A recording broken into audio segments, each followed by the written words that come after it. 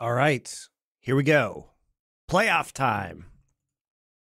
Get to watch Cloud9 die. What a sad end to a super team.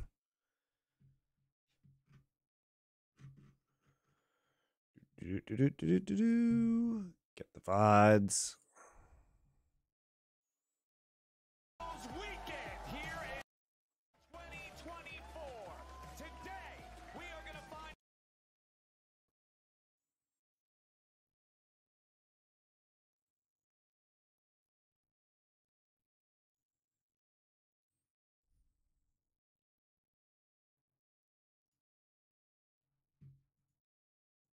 How's everybody today? It's going good.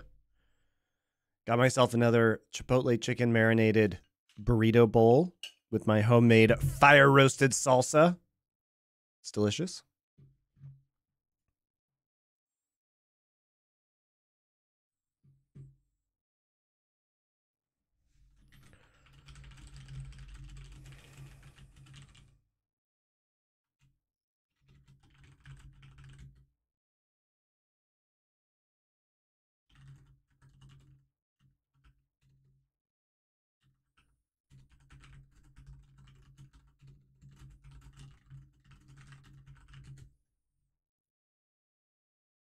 Udon with Brussels sprouts? Nice. Sounds good.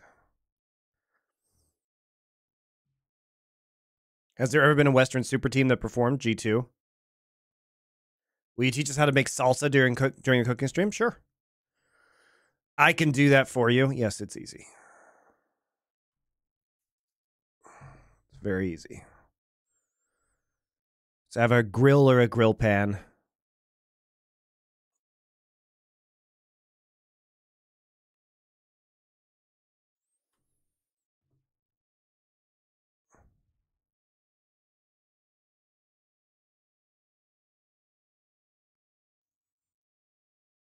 My lazy ass made some quesadillas with beans. I mean, beans are great. I could have made a quesadilla with kimchi with this chicken.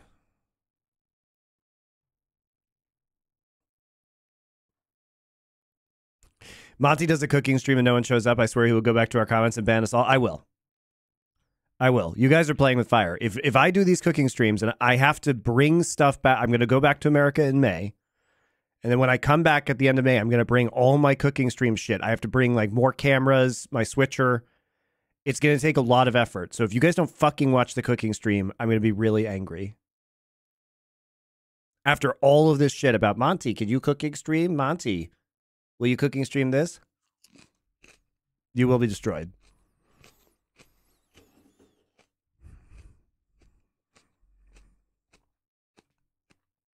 Are you self-taught cook or how did you learn? Um combination of being self-taught and like spending my summers in college cooking in a thai restaurant. Youtube chat getting ignored. What's my favorite food to cook? Uh mexican and thai. I don't know. I like everything. What am i watching first c9 versus tl you need a recipe for the tteokbokki in your fridge Okay.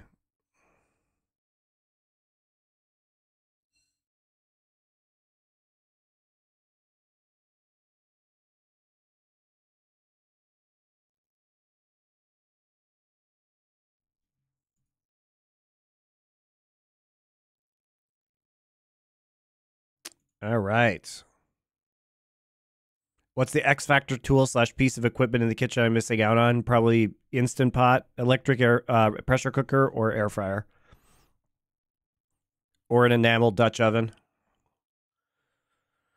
Those are all very useful if you don't have those. Yeah, yeah, yeah.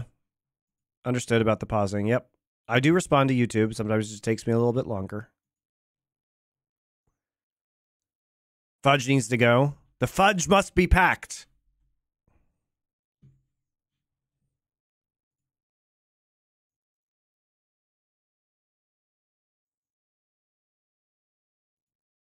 The fudge must be packed.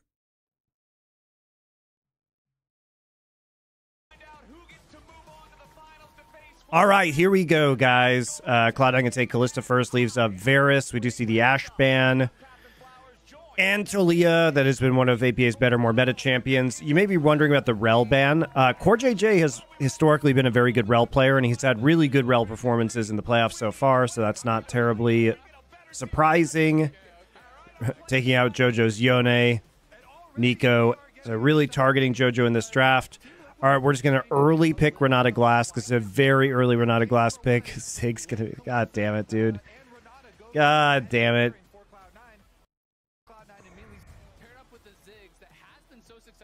So poke comp already developing here for Team Liquid.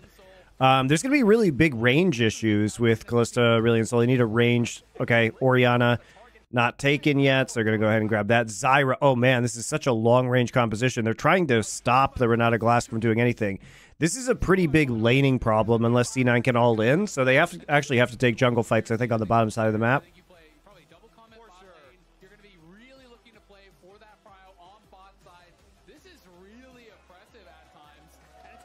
Cheap non-stick pan and a good cast iron pan. Uh, yeah, I mean like a you know forty dollar non-stick pan is great. Yeah, and good cast iron is always great.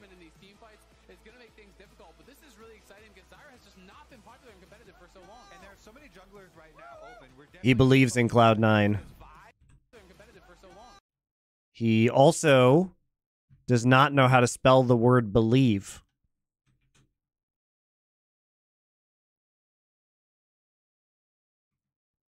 This man cannot spell. That's a big yikes.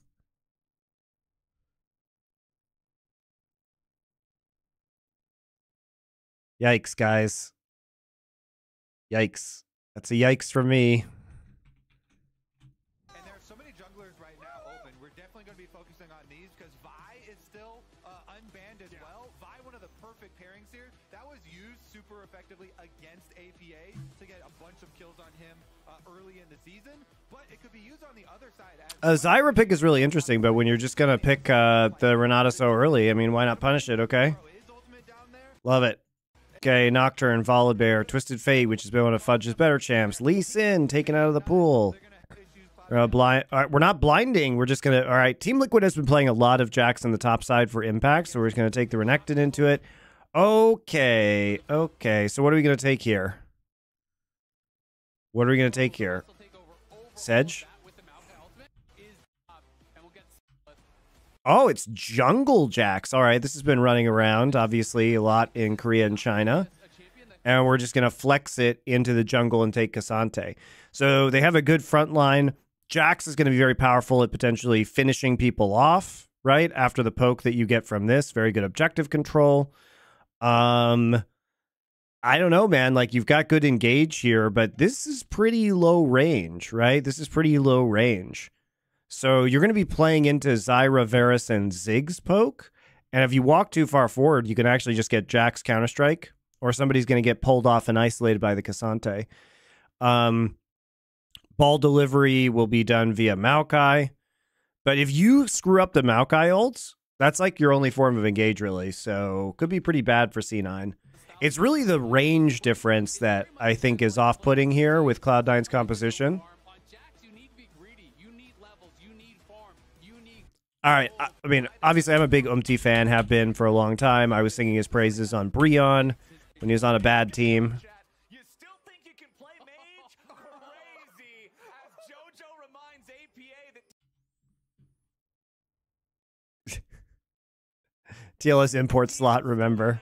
import slot for summer. These guys I mean, so does Cloud9, so wouldn't want it any other way. Cloud9 also has an import slot that they probably should have used. passes Bjergsen for second most LCS games played all time. Now only behind Wild Turtle. Yeah, I was going to say Wild Turtle's number one. at the top, but Impact has been here for so long and had success with so many different teams. It really is an incredible career. All right, level one. Only really Hello, Squidfish over on is that YouTube. You can see. You just came back from the bars acting a fool. uh, does at least get the knowledge of where Umti is going to start on which side. Raptors, of course, awarded as well here by Team Liquid. So take a look at the early pushing with both comets hitting. Yep, we've also got cleanse on both of the marksmen this time around. Very much understandable. There's a lot of lockdown that guarantees a lot of damage coming out from either direction. So there has been just a little bit of Zyra played, but this was obviously a plan that they had by leaving Kalista up and assuming that the Kalista Renata Glasc was going to be taken. And And they are just double Comet in the bot side, really just built for poke. It will be a lethality Varus almost certainly. level two really contest. You want to have Berserker locked under his tower as much as you possibly can. And it's been so fun too because Core JJ, like I was saying in Champ Select, even when Zyra was nowhere close to the meta, he was always spamming it in in-houses in Champions queue. This is one of the guys that has kept alive this aggressive Zyra support play. They get level two at the same time though, so nothing there. Ziggs Asol, this is the record on it. Thoughts on someone going to LLA finals? Everything else, a combined I don't give a fuck. So definitely performing so much better on these champions. People criticize the guy, but he really can make it work on these control mages. He's very adept at getting to late game and performing in those team fights. Umti going top, might be looking for the Better on these champions. People All right, so this is just a straight. What the fuck is Fudge doing? He he literally has a ward. Fudge but Impact is That's Fudge's ward. had success with so many different teams. It really That's Fudge's ward. He knows he's at Krugs.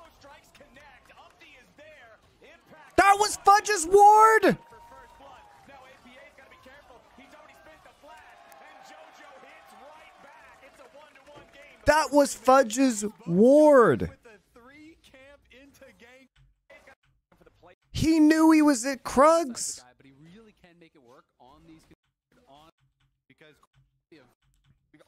where Umti is going bottom select to Zyra support combined team fights.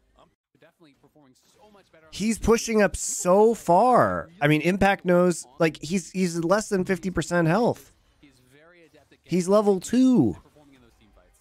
Umti going top. Might be looking for the play here on Fudge, who's trying to play around the brushes, but the Atopo strikes connect. He doesn't even have W. Okay, he got W right there. He literally leveled and got W. He didn't have W going into that fight. Fudge, who's trying to play around He's level 2. Look at this. E there's his E, there's his Q. He has no W because he's level 2. Umti going top. Might be looking for the play here on Fudge, who's trying to play around the brushes, but the Atopo He literally gets 3 off of this. Stuns Umti, but it's too late. Oh my god, what the fuck was going on in this top side? these champions. People criticize the guy, but he really can make it work on these control mages. He's very adept. I, this timing, like he uses slice and dice here to trade when he knows that Krugs have been finished at two and a half minutes. going top. Might be looking for the play here on Fudge, who's trying to play around the brushes, but the Atopo Like I, I just don't know why you would do this. Lexley, thank you for your subscription, guys. This is so bad.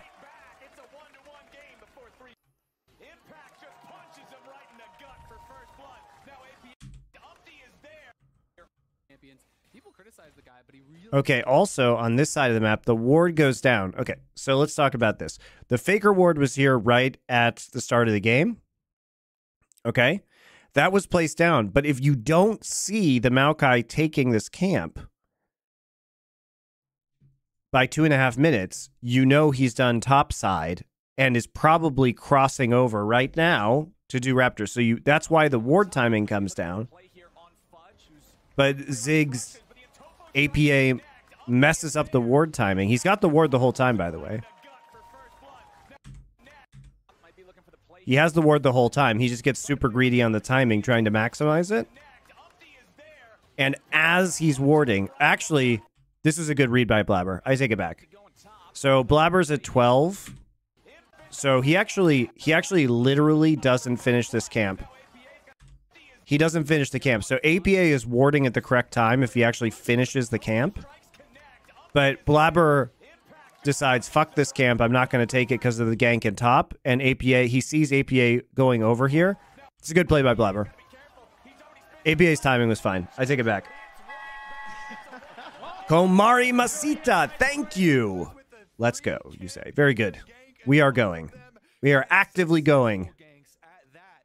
Flash used there by Blabber, but it was also APA using his.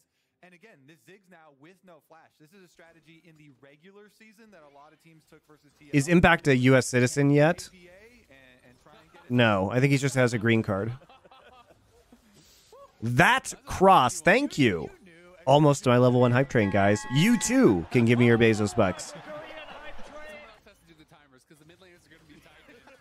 they don't have time for that. Dude, Fudge like putting his E on cooldown is so fucking wild to me. Uh, if Jem's like you mentioned Milky Way and of course, you know, him playing a bunch of Jaxes and Kindreds and, and getting that's what I was thinking when I was watching. This is a good call by Blabber, guys. He literally just stops doing the Raptor camp. Thank you, the JMZ. Apparently, I needed a reminder to resub. You all need reminders to resub. Shame on all of you, freeloaders. Ariel EJ giving out five community subs. Thank you. Very generous. You love to see it. Control ward to maintain control and vision over the Actually, a good play by Blabber, though.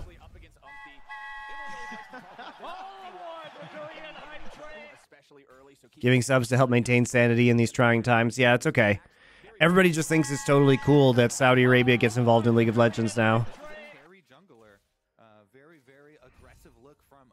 Uh, does he want to be a U.S. citizen? So though gets taxed still if he goes back to Korea, sort of. But you you only get taxed uh, with U.S. taxes after your first like one hundred and ten thousand dollars of income. Otherwise, you pay lo- pay local taxes in Korea. They have a tax agreement like they do with many other nations. I'm thinking about joining a local Muay Thai gym. Hell yeah! Any any tips or tricks I should know before going? Hope your cardio's good. that was a I mean, if you're a noob, it, it won't really matter. You will get you will get you come back here, POTUS Barnacle, a bit of that. And you tell me how much your body hurts after going for the first couple of times. He didn't like aggressively go all the way to hover bottom side of mid lane, and it is going to be the Your your core and your cardio has never had a workout like you are about to deal with. right back through the top side and, and go up towards Grubs. Blabber's just going to move on down towards bottom side and try and control your dragon stacking with your Kalista Renata lane. Yeah, we haven't touched on it too much, um, but Jan is actually down. What do you think the solution is as a small cog in the wheel about taking Saudi money? He's, he's down, you know, wave and a half or so uh, this early. Just like, don't fucking do it. maintained the push. They really wanted to get Berserker. if you like look i here's the thing guys i actually don't have a problem with taking saudi money i have done consulting for esl post their takeover by the saudis to be very clear i've said it a million times on these shows okay my problem is if you spent a lot of time talking publicly about neom or carlos or thorin and like virtue signaling your little ass off you better fucking come down on this one because this is a million times worse just uh, look, all you have to do is be like, I like the bag. Okay, go get it. Don't just pretend to have ethics. Don't LARP your ethics online, guys.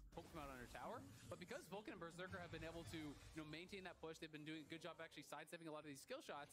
Well, they're locking on under his turret. That's why Blabber is very happy to play down. It's ridiculous it took him 14 years for Rise to realize the appeal of players talking smack in all chat. Imagine what could have been the era with really big league personalities, Piglet and Dardoch. Would have become supervillains? Yeah, I mean, Riot is 10 years too late on everything. Boss Tone, thank you for your Twitch Prime sub. Is Berserker now? You know, is he him? Is he not him? We've had fellows talking about. You know, he, he used to be really into. Hello from Bulgaria. I watch all of your LFN content. Thank you very much. was one of the notable guys, you know, speaking about, about that. Uh, but they have had some really good early games. It just hasn't always been able to translate. You know, we think back to last week, had a great early game on the Costa. As Shockwave's going to connect. Oh, JoJo committing the ulti here, staying right on top of APA. Needs a little bit more damage to finish him off. Doesn't quite find. Been able to translate. You know, we think back last week, had a great. APA actually just getting clapped in lane. JoJo committing the ulti. Jojo's been very good in lane in the last two series, though, despite the fact that his team is losing. Oh, that is so unfortunate. Like 20 HP left. Even even Orianna's empowered auto there couldn't get it. It's actually surprising. Oh man. was one of the notable guys, you know, speaking about that.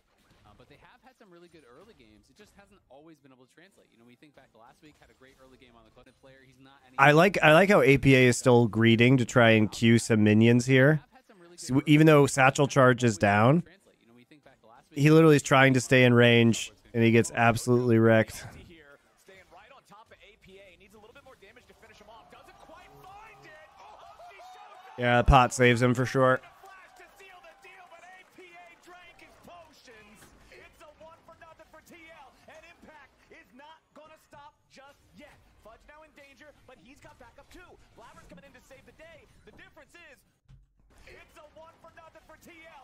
Edge just getting clapped up here.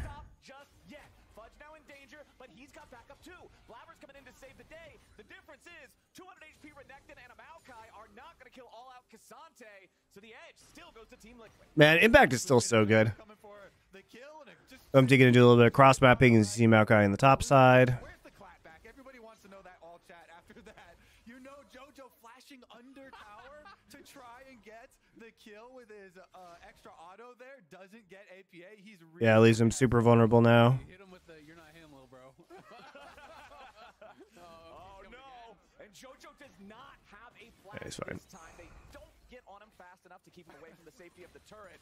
But man, it's getting spicy here in the mid lane. I love it, boys. Yeah, it's uh, definitely a lot of fun. But uh, yeah, Berserker, great early games. Three HBO, Thank you, had a big YouTube chat. on similar to what he has now. Wasn't to Thoughts on having to watch TL at MSI? Was not able to turn into a- It's a grim time. kill in the 1v1, but MT shows up. He I love APA versus Chovy. But the potions were running. Had the Three. HP. Three HP. Three. That's the biscuits right there. That's just drinking your potion in time. That's one of the most tilting things in League of Legends. You're like, at least I'll take him with me, but not quite single digit health.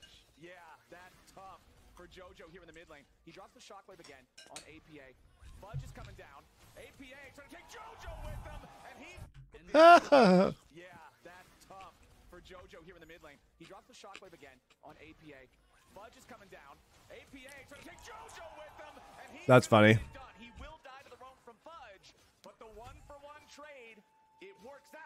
Team Liquid's mid lane. Okay, so how important are mid kills uh, compared to mid mental? Because everybody, everybody is getting in on the mid mental game now. Fudge with the roam down and flash in for the kill, but Fudge doesn't have TP, APA still getting the counter kill with his. so Impact just gets free plate. They actually lose more minions because the wave is going to be consistently pushed in the top side. For a follow-up play. They trade it for flash for flash, so it's actually a net negative play for C9. It's actually a bad play. Uh, is going to be the first time that we get a really big pushback here for Core JJ and Yeon. This is a giant stacked wave. That's got to either be some turret plate money. Uh, Jack I was getting two plates, maybe. Jungle though, so maybe they get punished by sticking around for turret plate money. All right, let's see here. Those piercing arrows will continue trying to poke Berserker and Vulcan, but the Maokai ulti is already. Nice cleanse. Yeon eats the ulti and then uses the cleanse. Vulcan. Nice flash. To flash handshake, but it does not work. So C9, yes, they're going to get both summoner spells out of Yeon, but they will not get any kills. Oomp's easier to cover, so Although Jan had to block it. If the ult- traded flash for flash, but Yeon is vulnerable now. And then Vulcan looks for the correct play, the follow up, but the, the flash, the cleanse were really fast there from Yeon. Gets the minions in between them. I think well handled by both sides there. Mm-hmm. Good reactions there. Yeon definitely somebody who has had a spotlight on him recently, especially for playoffs here for Team Liquid, with them spending so much time bringing him up as we get uh, act, act three of our mid lane banter. And I feel like JoJo, he's got a little bit of something to prove after last week, where he became one of only two mid laners ever to go through an entire series without getting a kill. Uh-huh. It was kind of ironic because he did it against Jensen, and Jensen was actually the only other mid laner to ever be shut out for a kill in a playoff series. Uh, so Jensen had it done to him and then did it to JoJo. Yeah, well, both mid laners on the board uh, this time around as the Grubs are causing a ruckus. Yeah, C9 sending four players up to deal with these. Team Liquid has already claimed four grubs. They got the first three in that objective trade that we talked about, and they already claimed one here in the second set. But C9 is going to try to stop them from hitting that five grub breakpoint. Nice long range chains! And the beautiful snipe to follow it up. Yeon and Core JJ get the 2v1 kill on Berserker to punish the roam from Vulcan for the grubs. And the thing that makes that so much more impressive is the earlier Chains of Corruption that forced out the cleanse from Yeon. Immediately when the cooldown's back up, he instantly hits it on him again. This time they know he does not have that cleanse. You have to hit him back to back like that. And this is the stats I was talking about. JoJo with one of the worst series, well, probably just the worst series he's ever had in his career. I don't know about that. I think JoJo individually played very well. His team is just trash. Really wants to have a bounce back one here. Yeah, and the, the entire team of Cloud9. That series versus FlyQuest was surprising even to FlyQuest members, they were saying. But the whole reason this play goes off is because you get the support roam up to Grubs. And oftentimes people have tried to use those support roam timings to It's get a nice all-in. aggressive. The most painful thing there for Berserker was off is because you get the support roam up to grubs. Young plays this well. But the whole reason this play goes They play this well. So Yeon takes aggro here with his hail of arrows. It's like a max range. This could have been flashed by Berserker. Oh no, his flash is not. His flash is barely not up, so he just dies. It's very nicely played. It's really nicely done by Yeon. It's like max range Varus play. It's nice. Uh,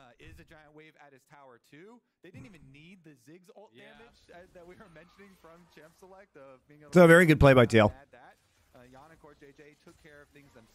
Add that. Yannick or JJ took care of things themselves. You leave someone in a 2v1 versus Zyra uh, and Varus it's going to be pretty hard, but really big props to Yeon for at least hitting the ultimate there. That Varus ultimate started the entire thing off. Yeah, I think Berserker just would have had an early flash, but it seemed like he thought he was out of range because that was the No, he didn't have flash up chains Azil. that did actually connect. Okay, so Uh, Yeon His, I believe. Well, it's a it was a replay cooldown, so maybe I'm wrong. We'll go back and make sure.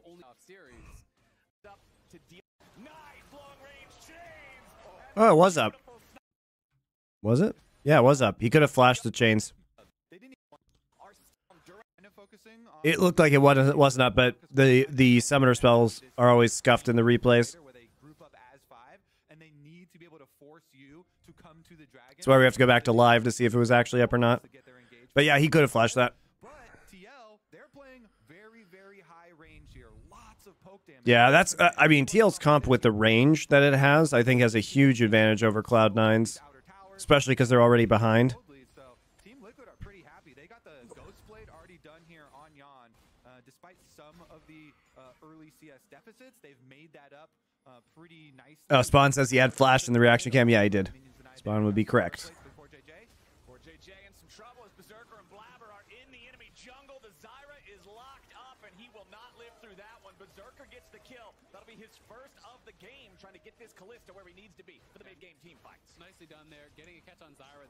Course, one of the major weaknesses that every pro will tell you about these style of champions. If you're playing Brand or Vel'Koz or Zyra or whatever, it is hard to play for Vision, right?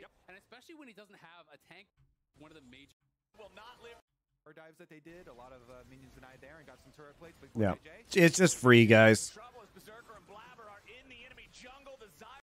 Uh, and where they C9 does, is doing a good job of controlling the Drake, though.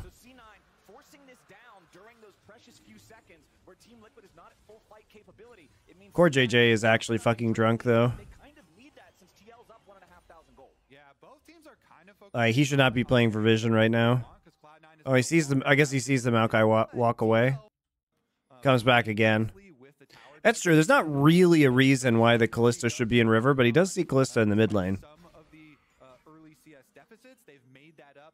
Uh, And he does want to keep putting putting on the pressure on the bot side. a lot of uh, minions denied there and got But he can't be over there when his jungler's on top. In some trouble as Berserker And they see Kalista in mid.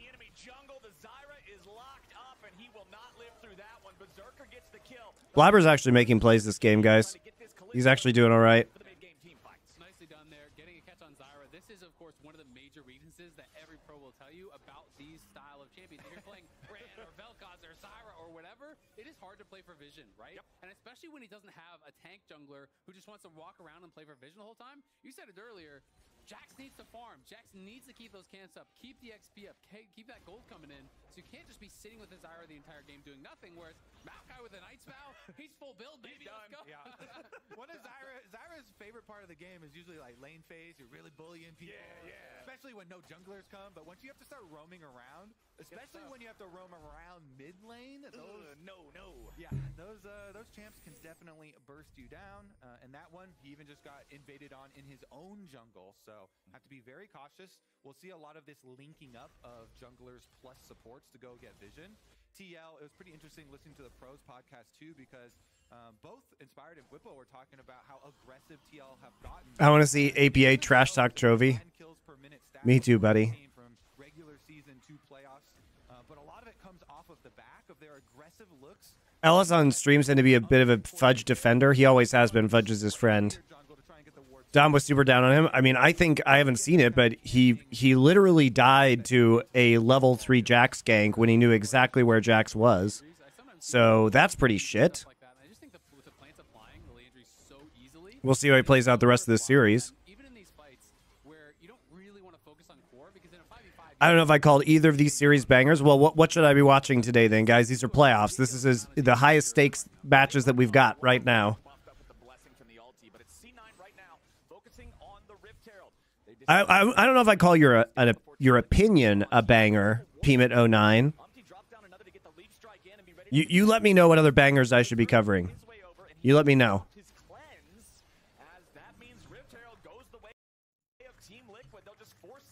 Objective. I want to get another look at all chat. Do they say TY for leash in this one, or is it only mid laners that Only talk? mid laner, There's only only mid mid laners. Okay, okay. No jungler talk because you know that's a thank you for the leash, my friend. Thank you for your mid tower. That thing is super duper gone. They can even blow it up with Ziggs before the charge goes off, so Herald doesn't even get hurt. And uh, that is that is the biggest number one goal that you're trying to look for with poke comps is get your mid lane tower down. Then they can start to snowball across the map here. Makes it so much. more Yeah, the next this next Drake, the Infernal Drake, is going to be really telling, guys, because Yeon is gonna Yeon and the rest of Team Liquid are going to have really big priority from taking down mid turret, and they should have, you know, Down the tier one too fast. good vision control over the objective with their poke composition. no one's answering APA. This is something he's played really heavily towards. Oh god, he's going to take bot too. Now they should have even more control. Yep, kills another tower as they kill the mid tier one. They soften up the mid tier. it's very good. They have more of a gold lead now. Walk down mid, take that tier two as well. This is more and more gold. being Okay, 50 seconds until Drake. Better see some recalls coming in. Okay, we do. Demolitionist takes care of mid lane. Immediately starts rocking Everybody's recalling. Very good timing. work. Two towers down. K'Sante not there yet. K'Sante does have TP though. Can clear wave and recall and then TP in. Dragon number three is only Good TP from APA. You want to you want to TP early there, so you have a chance to push wave before Dra- Drake spawns. Help your team get mid control so you can get vision. Umti's actually here this time, so CoreJJ doesn't have to die walking into river because he's Zyra. To Okay, they have total control. C9's gonna have to give this up or lose the game. They say, yeah,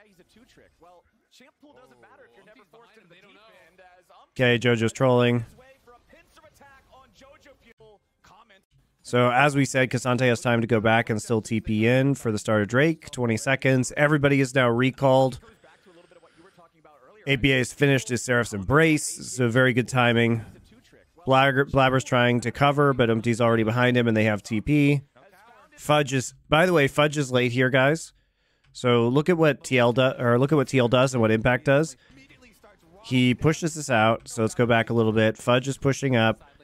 another covers, as they kill the right? mid tier one. They soften up the mid tier two. Takes care of mid lane. Recalls. They clear out this wave. Impact walks back to turret, recalls. Fudge starts his recall and then cancels it. To poke you. The more time, the bigger the advantage So he actually decides to push forward. So this is a mixed call, guys. They should not be trying. If Fudge is going to stay, so you have you have two choices. So one, top recall. So you can set up for TP, right? Top recall slash bot push. Or you can like give up drag, which doesn't matter, right? It's just one drag. But it does slow you down, and I think the scaling and range advantage is pretty big for Team Liquid. Give up drag and push top. What you cannot do is cancel your recall, push top, and then push bot at the same time because you will not have TP available to make any kind of counterplay on the bot side, range. Looks like uh, Fudge actually staying. right? champ pool doesn't matter if you're never forced into the So Jojo, like, you can't do this. You you know K'Sante has TP. You know he's in base. Um, it's a very good play around the side by Umti. Okay, he dies. Okay. Fudge is here just to take some damage, and then they lose Drake. It's really fucking bad macro by Cloud9. Really fucking bad.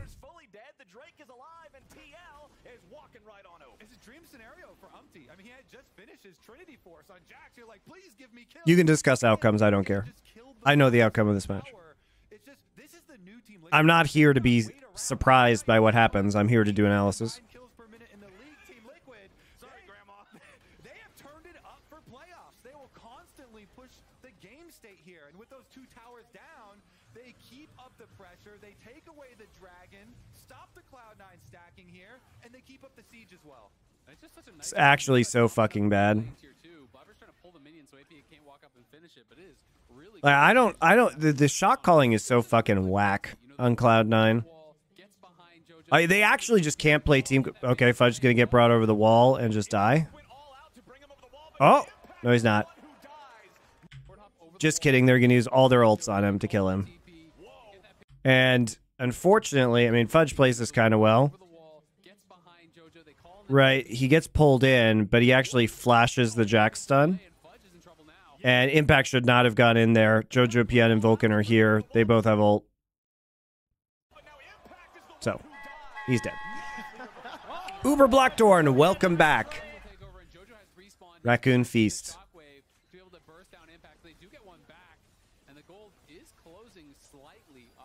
Stream is dying. Oh no. 3K up, pulling it back to Uh, should be okay now. I like the fact that they went for the handshake play on the Varus there, but unfortunately the turret just explodes under the might of this Ziggs. The siege power on this thing is just ridiculous. And just look at how much vision they actually have in that bot side and how little Cloud9 has as we toggle over to them. There's like five, six TL wards in the Cloud9 bot side jungle. Looks like it didn't completely drop. It was just a, a, Chains of corruption and a quick hiccup. goes in. Vulcan has to flash away from the Mega Inferno bomb, but he still gets tagged by the them. There's like five, six TL wards in the Cloud9 bot side. Okay, they literally don't know where any of TL are, so they're pushing forward together, but hilariously, fact that they went for the handshake TL has set a trap for them. They stayed explodes. After pushing this tier 2 and bot side. This is a funny funny call. It's probably a core JJ call. bot side and how little Cloud9 has as we toggle over to them. Because they realize, guys, they realize what Team Liquid realizes is this ult is down and this ult is down. It's kind of a safe play to make because you have all of your crowd control up here. And they think it's safe because Impact is dead. Blabber actually just gonna. Oh, nice. Okay. Well, Yeon walks up, is ready to use Chain of Corruption. Blabber flashes it, cleanses Maokai W.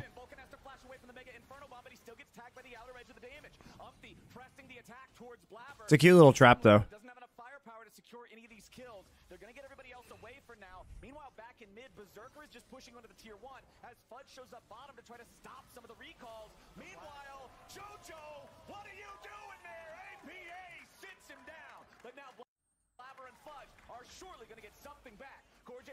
away, and AP. Meanwhile, JoJo, what are you doing there? APA sits him back in mid. Berserker is just pushing onto the tier one as Fudge shows up bottom to try to stop some of the recalls. Meanwhile, JoJo, what are you Lol. doing there? APA sits him down. But now Blabber and Fudge AP has no mana now.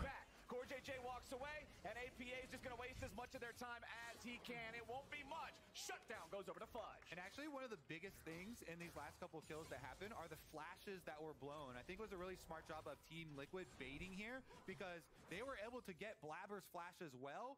And if you're a team that has to get the engage because you're shorter range and your Maokai no longer has flash, and they also use the ultimate there, it makes it so much more difficult for Cloud9 to play to their win cons here, whereas Team Liquid, so much easier. We've got the range, and all of our range champs have their flashes ready. Okay, C9 looking to finish the job here in mid lane. Going after that T1 that Berserker was putting the work in earlier. Nicely done. Uh, it's pretty important that uh, C9 gets that. It wasn't worth the trade in the bot side. Um, it wasn't worth the trade in the bot side to give up your mid lane because you need that protection as a. You don't need it, but it's helpful to have that protection of like a hard point to fall back to, right? As a poke composition. And basically, you had an out here. So now you can just leave. And they actually canceled their recall. So what, what should have happened here is that if you get back faster, then you can uh, you can either use Ziggs ult to clear the mid wave, the attack towards or you can send Varus or Ziggs back faster.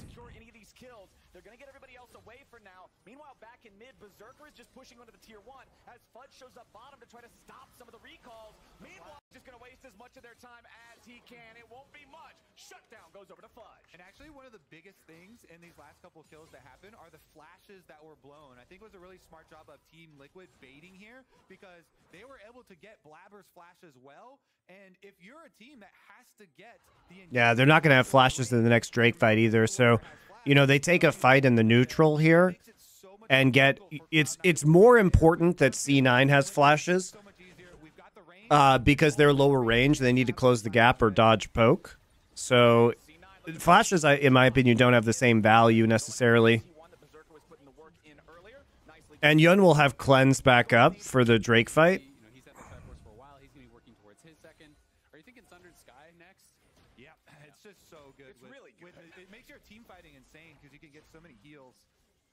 Cooldown reduction, the stats are just really good on it. Umti and Impact here gonna go take care of the top wave first as they just clear out and establish their vision control first over the objective.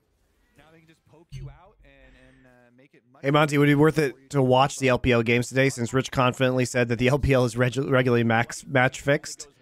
Um, I don't know about the match fixing in the LPL guys one way or the other.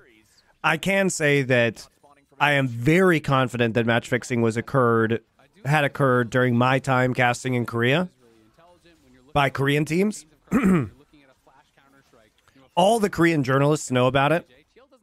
And they don't want to talk about it because they're afraid that it might destroy the scene like it did to Brood War when the match fixing scandal came out. Um, and Western journalists are also aware of it. They just haven't published on it. one member from Cloud9. So it's pretty bullshit, in my opinion. There are a lot of very famous people that probably should be banned forever for match fixing in Korea. Chases him over the wall. Beautifully done from Umti to drag the C9 But I can tell you, years ago, it 100% happened in Korea.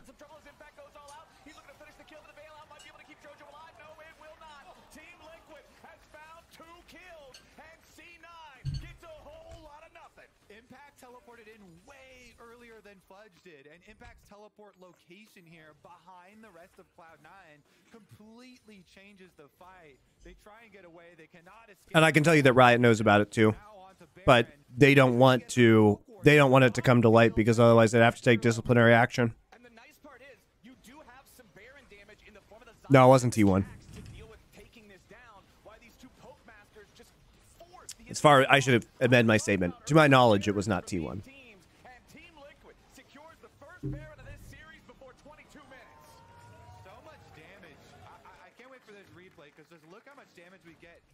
What kind of match fixing are we talking about? Throwing games. JJ takes point here, really far up in the lane as Umti walks back on the Jax, and it's a pretty good Maokai ultimate. You can see they're trying. Pretty BS that people pretend it didn't slash doesn't exist. That's that's Korean culture, man.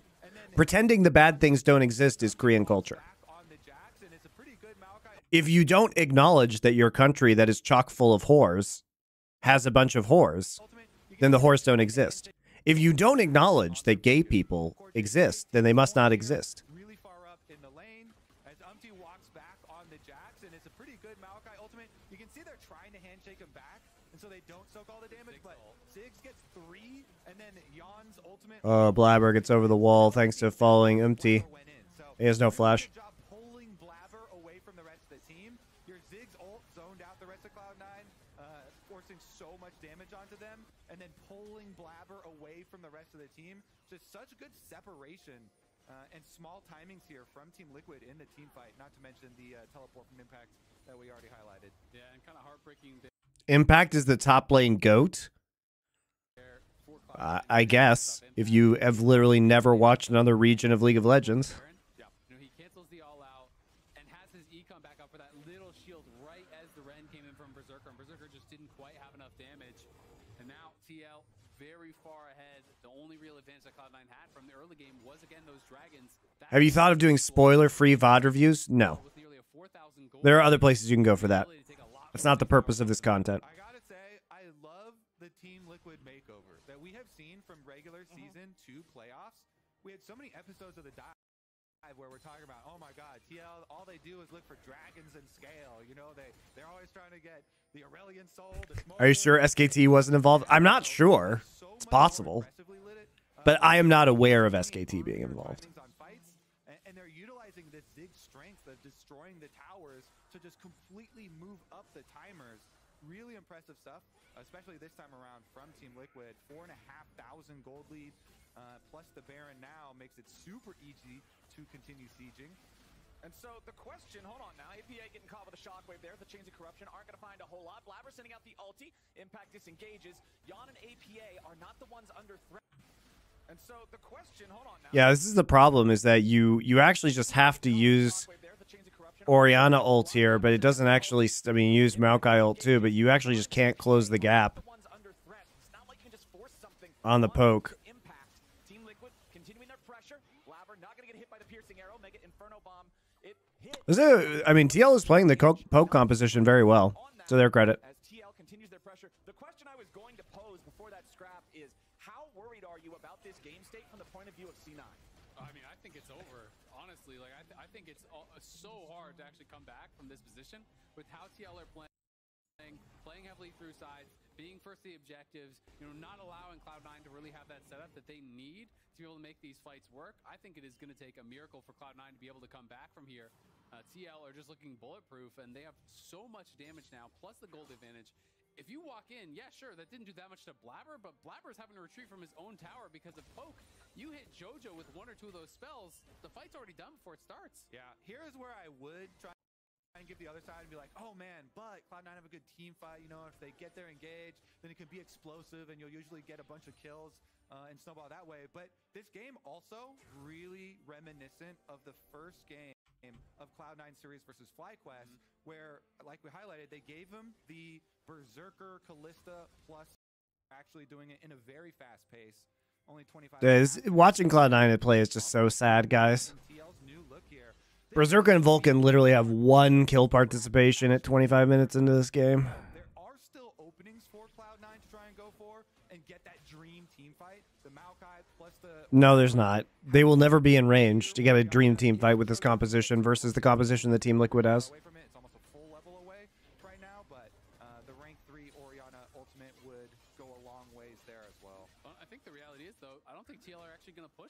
For the inhibs for a long time. I think they're just going to take over the enemy jungle, start farming multiple quadrants of the map, and just slowly increase that lead. Play for dragons, say, you have to come blind through your own jungle into us, into this poke every single time. Yeah. We're not going to risk walking up to your base and giving you that hard engage. Just allow Umti to farm three quadrants, become a monster, to where no one's even going to be able to answer him in the side lane. Like, he should even win 1v1 against Fudge probably at this point. Uh, as he's already level 4. Yeah, Umti being already level 14 is pretty huge. He's two levels above Blabber. really need to worry about then. is Meanwhile, Berserker got the levels, which is completely useless for an AD carry for the most part. C9 can't get any, you know, He's the one who's ahead of his lane opponent here. As long as you're able to keep vision, then you can play to that game plan and you can continue to slowly increase your gold uh, gold lead, and increase your resources. Plus, if Team Liquid do get to the point where they just control the entirety of the map for the next 10 minutes, they get those next two Drakes, it's Infernal Soul. That is so nasty with a poke composition as the foundation you're building it on. Yeah, it's terrifying. Out that next Drake, Infernal Soul is absolutely terrifying if TL gets it. So much free damage with the poke comp. How the teams choose to prioritize where they want to go and how they want to dance back and forth between these objectives. Yeah, it can become really difficult, you know. But for TL, they have so much of this vision prioritized towards that bottom side. They clearly want to play towards the dragons. And I don't know, you know, if you're C9 and you go up there and you start that dragon, or excuse me, you start that Baron, and all of a sudden you get caught in the pit, there's so much AoE, there's so much poke. It's going to be very, very difficult, even if you secure it, to be able to get out afterwards. So Okay, they already have uh, Drake control set up. actually commit to it. Nothing that C9 can do. They could try and trade for Baron, maybe. Fudge had to flash. Yeah. You secure it to be able to get out afterwards. So it would be a pretty bold They're trying to get- for them to actually commit to it. Yeah, the Ziggs bomb Takes four people to kill Gromp. doom. Yeah. It fits so conveniently, right? So they just leave it here, so it's free? Oddly satisfying as mid tower's just gonna get blasted. Which why What the fuck? What are they doing? Very, very difficult. They're actually just trying. I think they're trying just to get Baron vision, It would be a pretty bold move for them to actually commit to it. but then they go take a detour at Gromp, and there's a wave pushing up, and TL's like, where are the people defending this mid turret? So Fudge has to flash out. It's actually fucking free. It's free real estate. Wall. Team Liquid finds no such difficulty. Mid lane inhibs down. Well, TL no one from Cloud9 is responding. So they have to be out over by the Baron. They have to be out getting vision. They have to be somewhere else on the map. They sat and they were very patient. Only one member walked up. It was Impact. The other four from all sat behind him until no one responds. And they're saying, okay, if you're not going to defend it, we're going to take it. And now they go back out on the map, and they are the ones clearing out the vision, reclaiming it on that barren area. And now the Dragon has spawned. Look at the map on the bot side for Cloud9. No wards in sight. It is so tough. Here it here it comes, guys. The epic fudge TP. He has no flash because he had to use it. All right, all right, good fight. But Umti kills everybody, right? It's a good fight for Cloud Nine, but Umti is just gonna clean up everybody probably. Yep. Uh, why did God grant me these powers of premonition?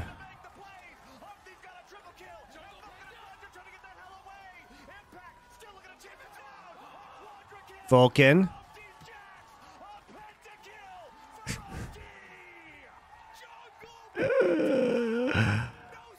Oh my god. All right. So let's take a look at this fight. It is it ends up being a good TP because they don't have the vision on this, but Blabber doesn't have flash, remember, because he blew it defending the turret. So it's a good Maokai ultimate. So they get onto the back line, but zoning Zyra ult here. He's on to Yeon. Actually, okay. All right. Unfortunately, Impact and Umti play this super well. So the Zyra ult goes down. Impact is zoning them out too. He's zoning out Berserker, and Umti just flashes on top of Berserker. Bailout doesn't actually save him.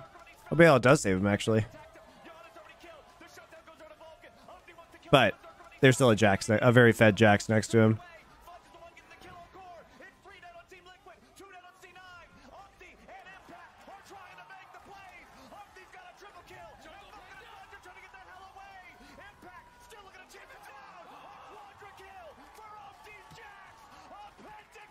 TL.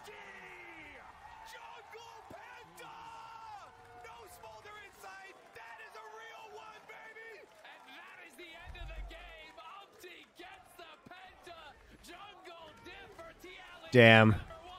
Cloud9's next I, I mean, they just. You can see how desperate they get. And yeah, they kill the poke line, but unfortunately, the Jax is just so fed.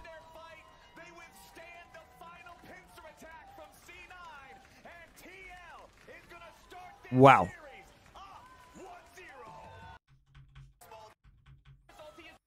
Yeon has flash. He does have flash. Does he not use it?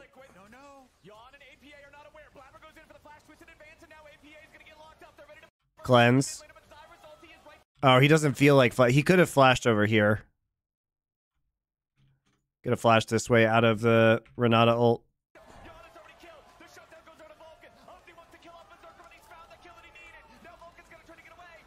C9 team fighting macro pretty bad this year. Yeah, their team fighting is fucking horrible. And their macro is fucking horrible. But good thing Impact is so good at creating space here. Uh, Impact and Umti literally distract three people during this entire thing and kill them.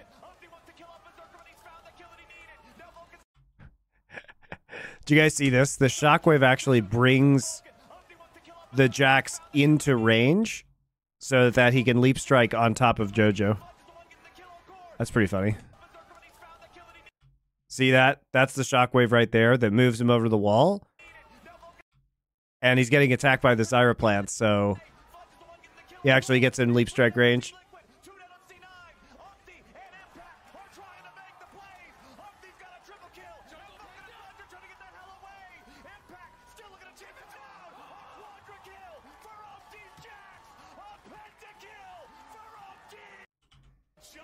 Damn. That's all right. I love MD, so I'm glad to see this.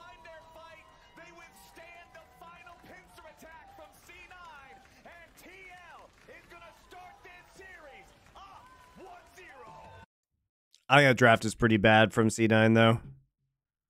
You just got outranged mega big time. uh, Why does it keep why are you No.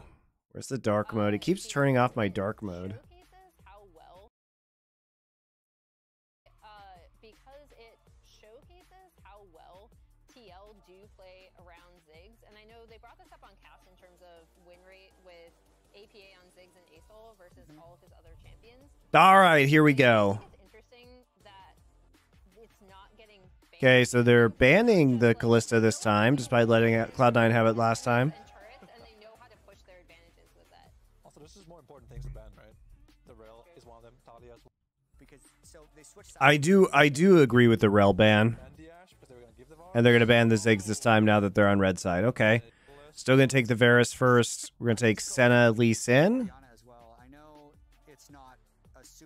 Okie dokie. Why are we early picking Lee. Sin here? So I guess they see the Varus and they're like, okay, we have to have pressure on the Varus, and we'll get a Lee Sin kick into the back line. But we could have taken Ori here, I think. Orzo, thank you for your tier one subscription. they're going to pick up for JoJo because obviously they went Senna. They opted to go for the Lee Sin, which has become like Yeah, the early Lee is interesting to me. Like you could obviously take Ori here and be very confident in your matchup. which is something that And they are going to take Tahm Kench. So they're going to have a really passive bot lane. I understand why you take the Tahm Kench into the Nautilus, right? And the Volibear does provide a lot of survivability. Like Wei or Orianna on four this game instead of picking something like Yone into the Nautilus. It's gonna be hard. Also very heavily physical damage right now, and top lane doesn't have damage champs that do max damage. Besides Rumble being banned. Uh, Harmed by Okay, so now we're just going to ban out APA's champion, Yone, Aurelion Sol, K'Sante, and Akali. We're going to blind the Renekton. I'm guessing. Are they blind? Tristana mid. All right, so it's another long. I mean, TL's just playing long range compositions here. They can take the Rumble into the Renekton, which can be a good matchup for the Rumble. And then we take Hui as our last pick here. Um, so at least they have more range this game, which they definitely lacked last time. Uh, but they're still going to be pressured and pushed in. So these two lanes, guys, are going to be pushed, right? And like top is also top. Actually, all three lanes are going to be pushed. Probably. So Volibear, the tower dive from Volibear, dive potential from Volibear post six is huge. Huge, I think. Um, this is a really passive bot lane. And Lee Sin is going to have a tough time getting on top of Tristana, even if she can get Varus. But the thing is, if you kill Varus, it doesn't really matter because you still have to deal with the Tristana and her ability to get resets and clean up. And getting an angle onto Trist is very difficult with Lee Sin. And flanking is going to be very hard with Renekton. Very hard because of Nautilus, Rumble, Volibear, plus Trist W. So it feels like it's going to be really tough to play Renekton. Thank you very much, Lau. Not even like in laning phase and then outside of laning phase.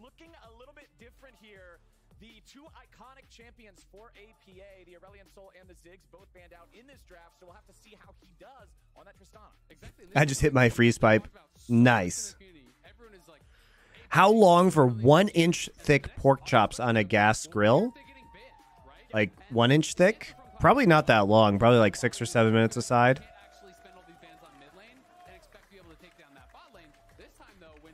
Maybe five or six minutes aside. One inch isn't that much.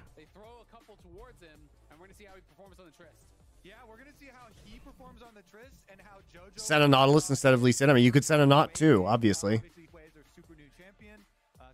I, I don't understand the early Lee Sin priority. It doesn't really do anything for your composition. You don't have a plan around it. You have potential synergy with Renekton and topside, but you have the Lee Sin has zero agency in mid and bot, and the 2v2 kills have and been possibly no agency in topside either. Champ, which he is known for, and they've got a Volibear for early dives. And Yeon was looking so good, you know, when he was playing this on-hit Varus earlier in the Yeah, and get a meat thermometer, true. for the squad. And I think they really rounded out the comp well, you know, bringing in this this Impact Rumble. All right, as we're waiting for the minions to spawn, Raz is standing by for an interview with C9 coach Mithy. That's what I got. Steak is five aside, more or less. Yeah, but you you you want your steak medium rare, Off of that one. unless you're a complete degenerate. So you cook it for less time. Pork needs to be cooked thoroughly all the way through. Otherwise, it needs to be medium. Otherwise, you get parasites. Do you want parasites? Are you teaming with parasites? So yeah. Shanyard 513. And what win con do you have? Like, what do you want to see your team doing to be able to come out with a win here? Uh, well, early game should be a little rough, and then once we start getting our ults, uh, we should be having an easier time in fights um, if things don't go too bad. So I think it should be a pretty straightforward uh, team comp to play. Sweet, appreciate that. Send it straight back to the casters. This draft is so ass. What you don't like lose every lane, get pushed in, Volibear dives your turrets? Draft? I'm pretty sure TL's okay with this. Nutella happens. Thank you very much.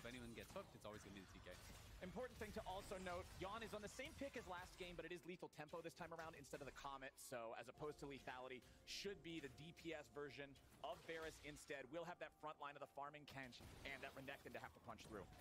Um, before we get into this, Umti had some words for Blaber after beating 100 Thieves last week. Nutella is basically just frosting, guys. That Nutella is delicious, guys, but it is legit so bad for you.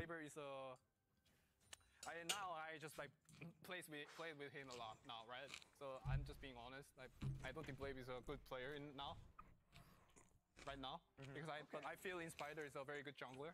So I Hydrogenated palm oil in a jar, yeah, and sugar. Is a It's very good, though. Jungler, so I think he's gonna beat Flavor. Yeah. Tastes good, but do not for a second think that it's good for you. It's actually probably one of the worst things you could possibly eat. Off the roof. Well, Umti predicted correctly, and Inspired did send Blaber down uh, to the lower bracket. Been trying AG1 for a bit, has been working wonders. Great. Yeah, I, I like it too. Let me remind you, to the position he's in now, he walked over the ward that was at Raptors. So Cloud9 saw, but couldn't really do anything about him stealing away that blue buff because the bottom lane was pushing. Oh, Tried to flash in for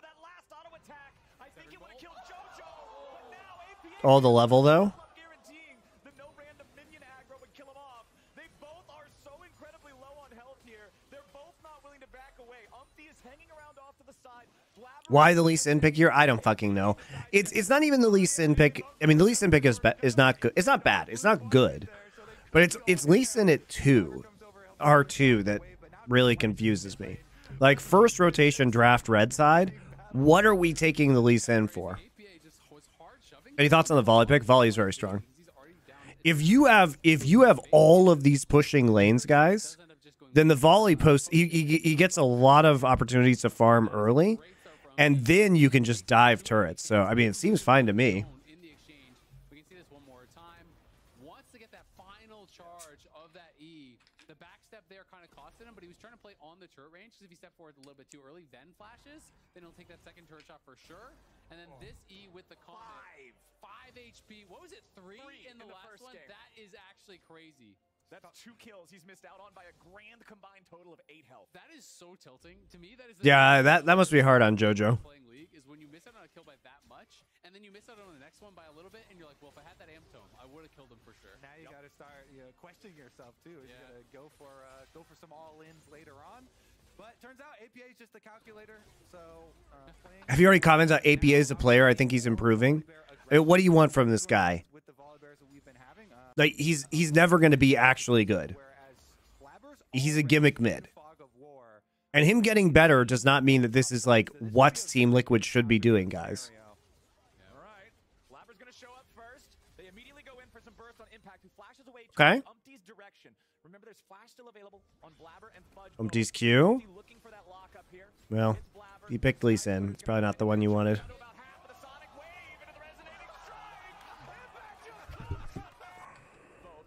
Umti looking for that lockup here. What the fuck, Blaber? Y- You know you can get out of this situation, right?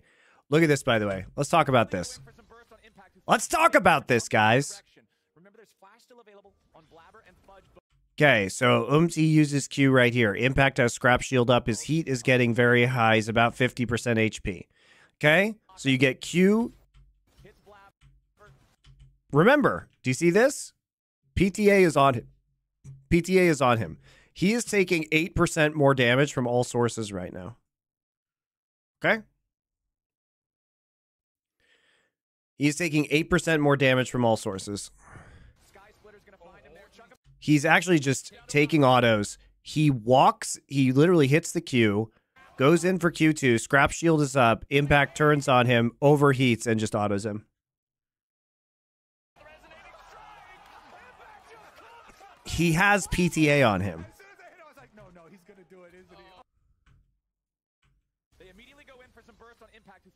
Towards Umti's direction. Remember, there's flash still available on Blaber. They're playing so desperate, guys. Block up here. Hits They're playing so desperate. Blaber also takes a huge amount of damage from the E. Splitter's gonna find him there. Chunk him down to about half of the He waits until the bone plating goes away at least. Sonic Wave into the resonating strike. And then he fl- uh, uh, right, uh, just the the shit cherry on top of the shit Sunday is just a flash at the end too.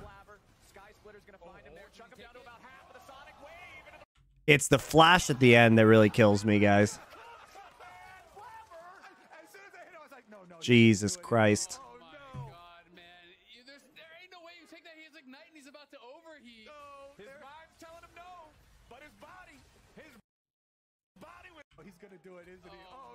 Yeah, he flashes for Q range. Yeah, yeah.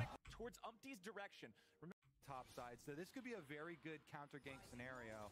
looking for that lock up here. Hits Blaber. Because Impact's walking away, so he has to flash in. Then he W's he W's out on the ward. Oh my god. All right.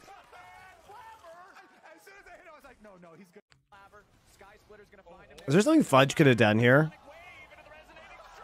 When was Fudge's E used?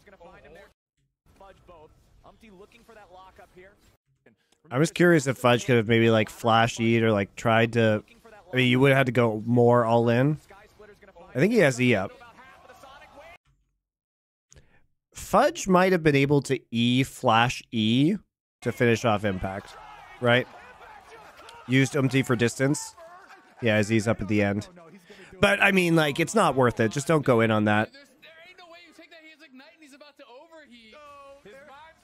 Yeah, he has Ignite too. That's that's hilarious. Telling him yes. Now bot lane, it's Core and Yeon again. Scrapping 2v2 against Vulcan and Berserker. Vulcan is low, but he's got the thick skin.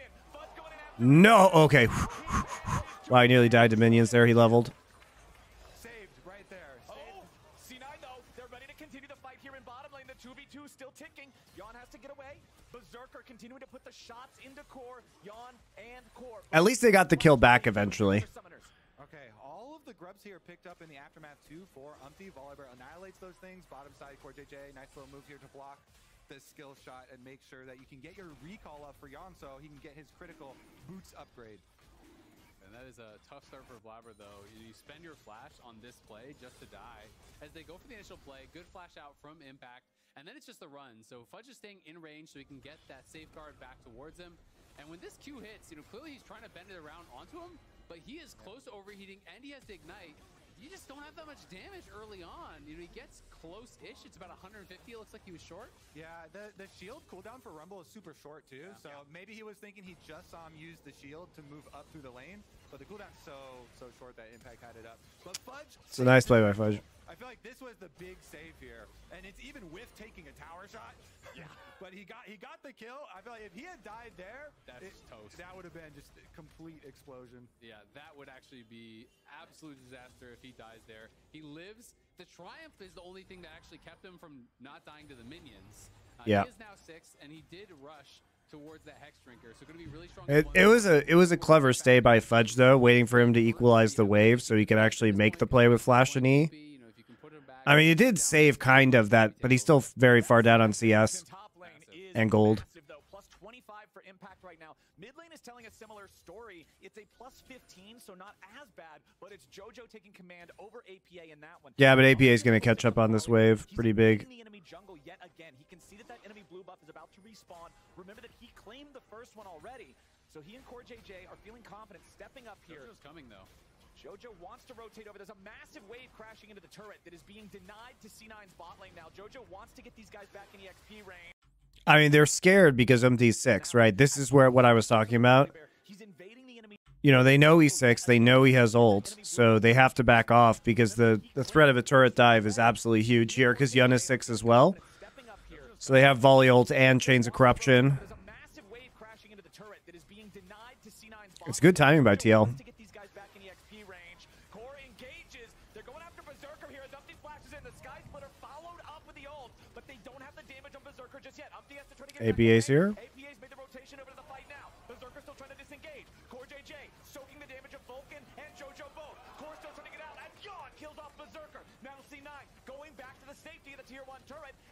On TL. I mean, there's just no way you can fight early against Team Liquid. You have to back all the way off there. This new TL is so much better, so much better at playing aggressive. They're not even done yet. Yeon with the inside route. Yeon is making sure he's What are they doing? Cloud9 is posturing way too aggressively for the comp that they have. flashes back over the wall. Team Liquid has low HP. All right, Berserker's back though. All right, we're gonna get one. Gonna get caught. Dredgeline, the sacrifice Okay, a little bit too far from Team Liquid looks like. saves their welcome. Oh, Makes the jump and has to flash over the wall to escape. Yeah, APA just barely. some overstays for TL in this series for sure. Flashes over the wall. This is insanity, but TL, they've talked about it. They're down to scrap. Fudge still has his ulti, so Impact cannot fully commit to this while he is silenced, but does have the ult and ignite himself. This the, the fallout of this looked like it was gonna be so much worse because I thought JoJo was gonna get zoned off all the minions and it was gonna be this full wave, you know, collected by APA, and JoJo would lose his farm advantage as well. But at the end of the day, still really good stuff here from TL. Yeah, the original play, I really like the follow-up invades on blue side, but then sticking around was the greedy part there, uh, where they waited. A At the end of the day, still If I was just pop an ult in the brush. Yeah, the original play, I really like the follow-up invades on blue side, but then sticking around was the greedy part there. Lol. Uh, where they wasted a bunch of extra time. And Just gets you hit by Harpoon. out, Uh, and the arrivals from Cloud9 members. So definitely an overstay from Team Liquid. Sometimes they get a little too hyped up on your let's fight everything, let's uh, let's get as aggressive as pop uh, as possible. But the original play was intelligent. And Fudge there pops ulti in the bush. He was actually hoping that Impact was going to spend his spells on the wave, and then he was going to be able to jump on him and kill him. But Impact actually susses it out. He, he shoots an electro harpoon into the bush, hits him. Was what did up. APA? It looked like he whiffed his jump.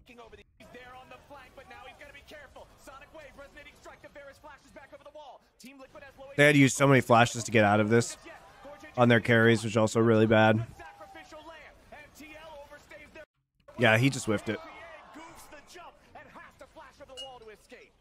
Yeah, APA just barely able to get out of there. Didn't have the distance on the rocket jump. Flashes over the wall. This is insanity, but TL, they've talked about it. They're down to scrap. Fudge still has his ulti, so Impact cannot fully commit to this while he is silenced, but does have the ult and ignite himself. This the, the fallout of this looked like it was gonna be so much worse because I thought JoJo was gonna get zoned off all the minions and it was gonna be this full wave, you know, collected by APA, and JoJo would lose his farm advantage as well. But at the end of the day, still really good stuff here from TL. Yeah, the original play, I really like the follow-up invades on blue side, but then sticking around was the greedy part there, uh, where they wasted a bunch of extra time, and then you get the recalls coming out uh, and the arrivals from Cloud9 members. So definitely an overstay from Team Liquid. Sometimes they get a little too hyped up on your let's fight everything, let's uh, let's get as aggressive as Yeah, it was, it was overstay for sure. I thought it looked pretty good though, but the the the revival of Berserker. Spend his spells on the wave, and then he was gonna be able to jump on him and kill him. But Impact actually susses it out. He, he shoots an electro harpoon. Kind of stopped that play. You have to be careful just because of how Comment, knows he's there, low death timers are in the early game. So this is gonna be a freebie reset here for Impact. Gets the push, gets to come back. Core though could be in some trouble. Yeah, he tries to dredge line out, but it's a lot of burst coming out from C9. CoreJJ will burst to the spiraling despair, and JoJo gets his second kill of the game. And the part I want to highlight there is not how they pulled off the actual kill, but how they got there. And it was Blaber and Berserker getting here first to the vision play. These control wards around there is not Tries to dredge line out, but it's a lot of burst coming out from C9. All right, good catch.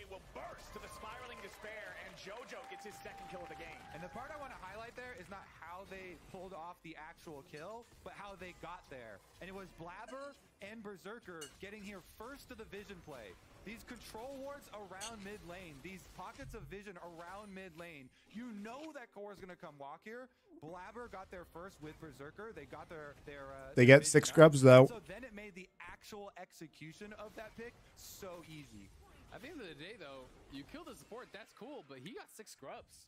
I'd way Yep. rather actually have those three extra grubs in this situation than that one support kill uh, where you spent Six grubs with the Tristana and the Varus range is really huge. Here, though. They're gonna look for Yeon. Dive coming in alongside the TP. Yeon's the Especially because you guys, the grubs got taken so early. You literally have three and a half minutes to work with uh, Well, they do get it. six grubs on plates. It's pretty big.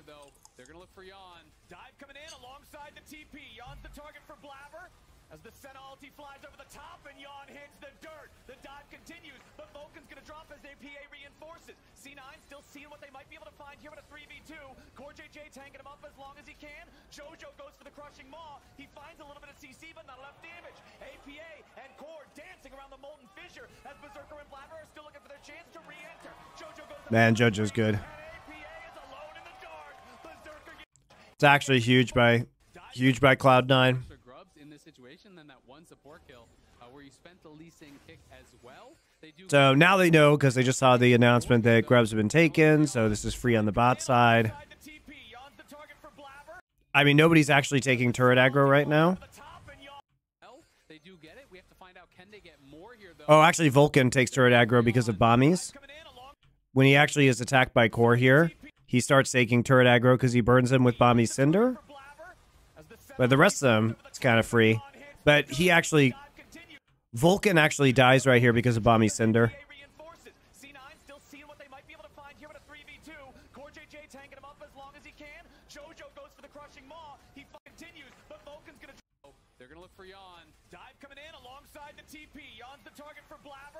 As the Senna ulti flies over the top and Yeon hits the dirt. The dive continues, but Vulcan's gonna drop as APA reinforces. C9 still seeing what they might be They do a good job of just not picking up turret aggro again for a while. And, you know, really, outside of that Bami's, they wouldn't have been taking really any turret aggro hardly at all for this entire, uh, for this entire dive sequence. Because for the most part, Team Liquid was pretty far beyond the turret. Nice to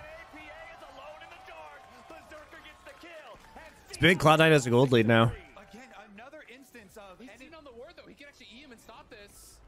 Oh, it- it- yeah, he just he was able to walk away. But another instance of using enemy time while you know they're going for grubs for a bottom side play. We'll see if that's gonna end up being enough uh, to actual snowball. But look at this: three kills for JoJo. The Hwei being fed is massive. This thing scales so incredibly well for team fights. So much long range and AoE damage. It is going to be at the cost of another objective, though. So not only all those grubs, but now you, you get the dragon in the reset there for Umti. He was able to chase uh, Blaber and stop the recall like you're talking about. So Exactly. it is going to be at the Joe. How you know they're going for grubs for a bottom side play? We'll see if that's going to end up being enough uh, to actual snow. So right now, Team Liquid, now that they've respawned, remember the respawn timers are very short. So the delay on Blaber here by Umti actually just gives them a free Drake. It's very good. Because Blaber decided to recall in Vision, so the the Sky Splitter, the Volibear E, prevented him from recalling the first time, and he had to move out of the way, and then he gets another one. So now they actually just get a free Drake. Team Liquid has good shot calling. I mean, they bounce back from these kind of bad plays very quickly. Credit to their coaching staff and Core probably at Core and lockdown. Team Liquid's top laner survives while his team takes the Drake on the other side of the map. I really want to see how Impact plays you know, throughout the mid game and the late game on this pick as well. He's had some really good early games on the Rumble. There was one in particular where he got monstrously fed. Ended up falling behind though because he spent so much time grouping, so much time playing for the team, which really is the way he generally plays the game. But when you're playing without TP and you constantly group, you can fall behind in levels, you can fall behind in farm. Yeah. And it's something that he has to be careful of and really needs to make sure that he's prioritizing his own game at times. All right, we got fight in the jungle. Blaber going for the kick. Up Nice flash kick. locked into the waiting arms of C9 and Blaber sets it up for the kill. 2, 1, and 4 here in the Lee Sin as Yeon's in danger. The tongue finds him and the rest of C9 ain't far behind. Yeon gets underneath the turret with 400 HP left. Blaber kill. 2, 1, and 4 here in the Lee Sin as Yeon's in danger. The tongue finds him and the rest Blaber's finding good kick angles. He sees that Core is out of auto range from the hook, and it's actually just free. He gets his flash too. Nice devour. So well, well played by Cloud9. These bot side dives have actually been good. shows up to finish off Vulcan, at least getting one back to the side of Team Liquid. Jojo poking around and Blaber keeps hitting these Qs under tower.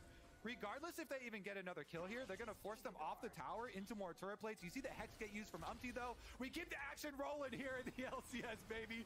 I mean, both teams are down to scrap. Both teams have decided, no, we are not going to give anything up. If you're going to come fight us, we're going to not back off. We're going to go right at you. And it's nice to see a bit of a bounce back game here from the Cloud9 mid jungle. You know, you were kind of joking, oh, it's going to be all Rell and, you know, tanks and whatnot. Blaber goes to Lee Sin. He has this horrible play on top side to start the game off, but it doesn't make him go back to being passive. He continues playing aggressive. He's paired up with JoJo, and they've gotten a ton done for the team. All right, only 12 kills here in a almost 14 minute game though. Those are rookie numbers. We can pump those up. we need to get to at least a kill per minute to really live up to the action.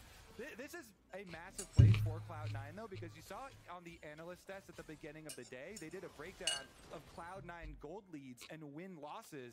Uh, they have a very low win rate if JoJo and Blaber are not ahead. Well, guess what? Those are the two players with a bunch of the kills for Cloud9 in this game, and they're going for an invade. Another fight's coming up as C9 puts all five men on the top side river. Umti engaging initially on the Fudge. They force out the dominance. The Croc will drop and Impact's taking the kill. Vulcan has to flash out as Team Liquid 9 puts win rate if JoJo and Blaber are not ahead. Well, guess what? Those are the two players with a bunch of the kills for Cloud9 in this game, and they're going for an invade. Another fight's coming up as C9 puts all five men on the top side river. Umti engaging Dude, walking into this equalizer. For real.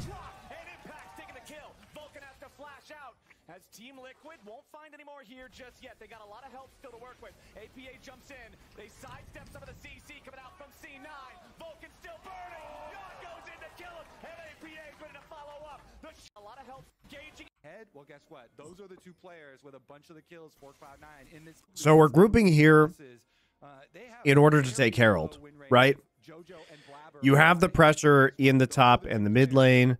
You think you can do this, but you don't actually have control over Banana Brush, so you have to rush it in order to clear out the ward. Fudge decides to go around the side into a jungle in which he has no vision, and you don't see anybody on the map. As C9 puts all So Fudge has to use his E right away. Instead, he actually just gets hit by literally fucking everything. CoreJJ flashes forward, try and get a hook. Won't find any more here just yet. They got a lot of help still to work with. APA jumps in. They sidestep some of the CC coming out from C9. Vulcan still burning. Beautiful. In to kill him. And APA is ready to follow Team Liquid's team fighting is substantially better than Cloud9's. Team Liquid finds three for I don't know why he's going for that flank though into a choke point Fights coming up as because here's the thing guys. You do not want to be here if you are Cloud9. You could have an equalizer place here or right here as ends up happening, right? You're basically just asking to be equalized and then Trist starts getting resets. Right, because there's the equalizer goes down. Does an amazing job of isolating Fudge. They actually can't even respond to this, so it forces Vulcan's flash.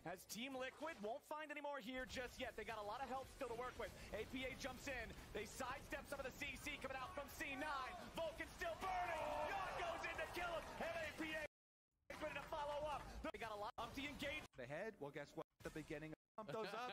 we need to get to at least a kill per minute to really live up to the action. Th- This is C9 puts all five men on the top side. Worth noting that they don't actually double back. They force out the dominance. The Croc will drop. And Impact's taking the kill. Vulcan has to flash. A huge fight there for Liquid. And just like that, the game was even. Now they're two point. Where did the I- Herald egg go? To grab the Herald, likely to take a Four that he played put together. And then right at that curse complete. his ulti. Sets AP eating him. Thank you for the bounty, team. Oh, it's here on empty. Okay. Sorry, I thought I was going crazy there. mechanism is you can't hit him. As soon as somebody Yeah, so we get the Herald Eye right down onto Volibear super quick.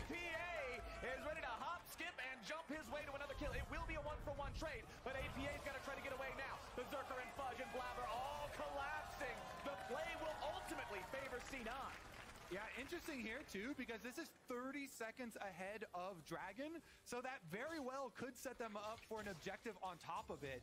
This one case, uh, a little bit of an over chase from Team Liquid under the tower to make sure that they get JoJo, and he does use his flash this time around, so Fudge gets to stick around with the pushing lane on top side, finish up the outer top turret here. Pre-pre-show. Oh boy. Dragon spawn first if they actually want to go for it. Yeah, we'll see. You know, if TL's going to try to go out there because APA will have TP, Fudge will have no TP and no ulti. So Renekton definitely a lot weaker than the Rumble in this upcoming fight if they're going to scrap for it. Uh, Cloud9 do have Proud to start of the first here. but we'll see. TL have time. Renekton down 1,200 gold compared to Rumble. Rumble has arm guard now, so basically he can provide frontline pressure. Just Q into arm guard. The spawn was wrong. Deal damage while you're untargetable. Very, very good. Here Impact gonna walk his way in. APA, as you said, he's got teleport. So I just got followed by Tyler One Manly Midget. What a name. What a name. Because now JoJo has to be the one to actually answer him, but he's on the opposite side of the map. So I think TL is just going to play through sides. They play this mid game really, really well with APA. If Bud shows up there, APA just backs off and you get a free dragon because he can actually answer with the TP and then be a 5 Tyler One looks like Krillin, but with like just a tiny bit more hair. Give up this dragon for free just because You know what I mean, guys? They didn't have the right man there to answer. Nicely done from TL. They will secure their second Drake of the game. They will take an in Drake count alongside the gold that they're still leading by almost one and a half thousand. C9's going to take the opportunity to push down mid lane, but Team Liquid's coming in to try to cut him off. Berserker manages to get everybody else out of What hair? Slightly more hair. But the Rift Herald earlier earned by Team Liquid is summoned up in mid, and now things have been turned around. Ty- I'm just saying, Tyler One's Krillin cosplay would be amazing.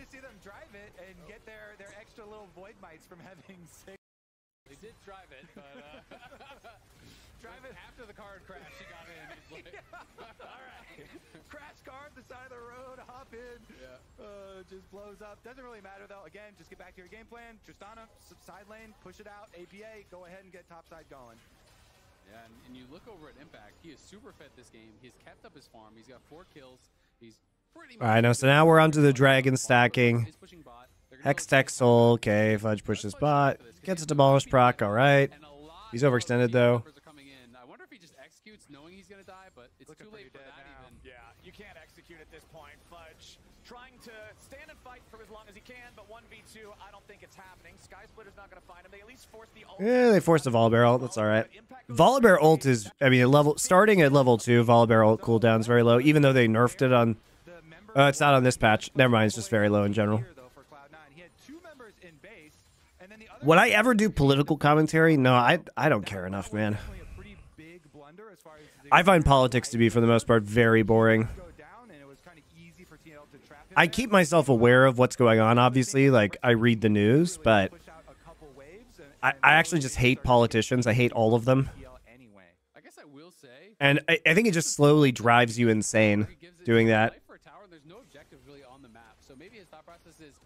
if they don't come, I get this freebie. If they do come, at worst, it's kind of a trade, there's nothing they can capitalize on on the map. Getting the outer tower, uh, that took uh, a couple seconds, but getting the next wave and pushing again is what got him killed. So, uh, I'd, I'd much rather just, you know, do esports, do cooking stuff, do lifestyle stuff. General gaming stuff would be fun too, than do political commentary. It's such such a grim way to live, in my opinion. The fact that we're almost at one kill per minute in this game so far, anything can happen.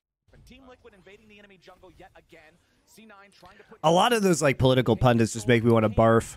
Cloud9 was sweating that they were about to dive JoJo right there. That was It's like the world's stupidest game, to that top lane and your battlefield is the mind of idiots who watch you. I have to go immediately before they get there. So to be able to bad. save. TL just back off. They get that TP out for free, so not going to be too bothered about it. But APA is going to be showing on this bot wave, and we'll see if Cloud9 tries to do anything with it because Fudge is roaming up to the team. They have five right now. I feel like Team Liquid really values taking those teleports away since they're down one to three in the count. But Blaber and Fudge are going to face Oh my god. nice Huge equalizer, huge flank. Keep Blaber alive with a devour.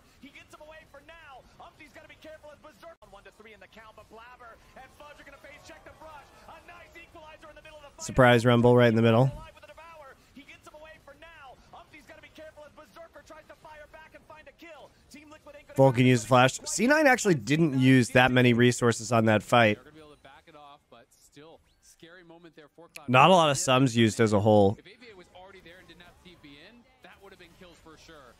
Dawn now forced to flash out again. The That's nice. They got both of young summoners out. Very important that that Team Liquid AD carry now has neither one of his summoner spells. That I love Hasan preaching socialism while he lives in a $5 million house. I mean, that's the funniest thing about Hasan. What he does, guys, he could do online from anywhere with a good internet connection. He doesn't actually have to live in West Los Angeles. He doesn't have to do that. He could live in fucking Kansas City. You know what I mean? It's crazy to me that he could espouse these values and then just be like, I need to live in, in Los Angeles.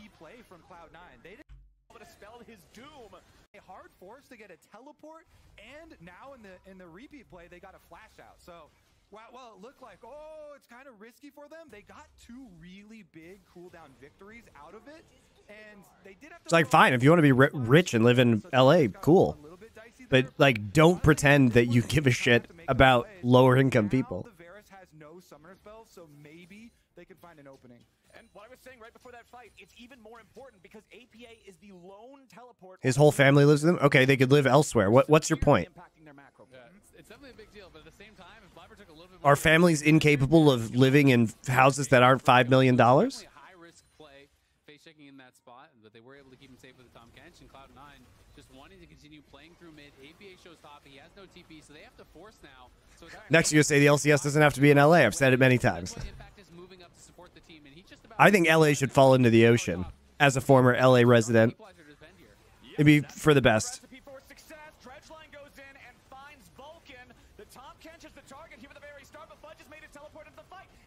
All right. NC9's ready to fight. There we go. There's the arm guard usage. They didn't actually get a kill, though, because they engaged 4v5. Trista split pushing. Okay, let's let's talk about this. Impact just drops the equalizer to defend here.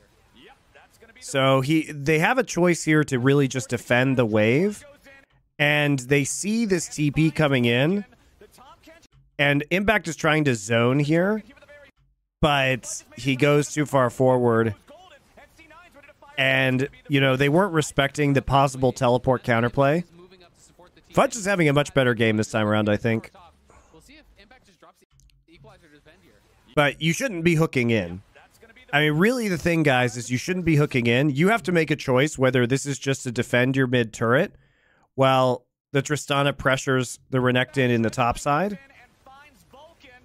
Because you don't have TP. start, but Fudge has made his teleport into the fight. Impact goes golden. NC9's ready to fire back. The flash And you actually lose arm guard and flash onto Rumble for this.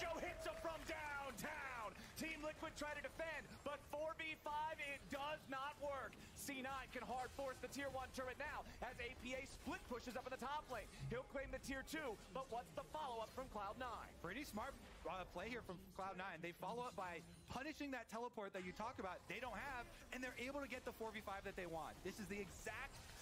So I think if you're Team Liquid, you're just really sad here because you actually got tier one in the mid lane earlier, and you had an opportunity to clear wave.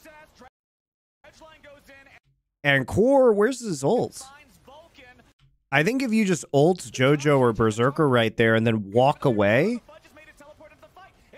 you know, you your goal, you have to ask yourself, what's your goal right now? You want to get soul point in this situation. So really the Tristana should be taking top. You should be defending this. Tristana should be recalling and then you push out for vision. That's what should be happening here. C9's ready to fire back. So that you can actually threaten soul point and then soul.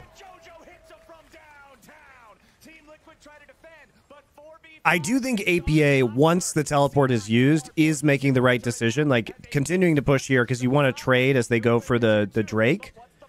This is acceptable. You get a lot of gold for tier two turrets in the side lane. So this is fine. Like I think their their response to, to the teleport usage was okay, but I think they just had to play it more conservatively. Oh, this is interesting. This is a good call. This is a great call by Liquid. Professional Ayla, thank you for your tier one subscription. This is actually such a good call by high Oh. here in game number two. 23 and a half minutes. I mean, they made the mistake, guys. They made the mistake. They made the mistake, but they actually turn it into a good advantage because it looks like they're recalling 4v5 that they want. This is the exact as this Drake occurs after tier two, and they just two man. Because the thing about Volibear is that the the shields from his E and the heals from his W spam actually make him able to very easily tank Baron, and then you have the huge amount of damage coming from a Tristana. So it's slower, but you're not going to be low HP, and you can actually two man it. That was really good. Like I mean, you you do really have to give credit to Team Liquid's macro and their shot calling. That's great. You know what that is, guys? That's a macro blast. It started as kind of a macro disaster, but then the macro blast occurred and they got Baron. Very clever. Very clever.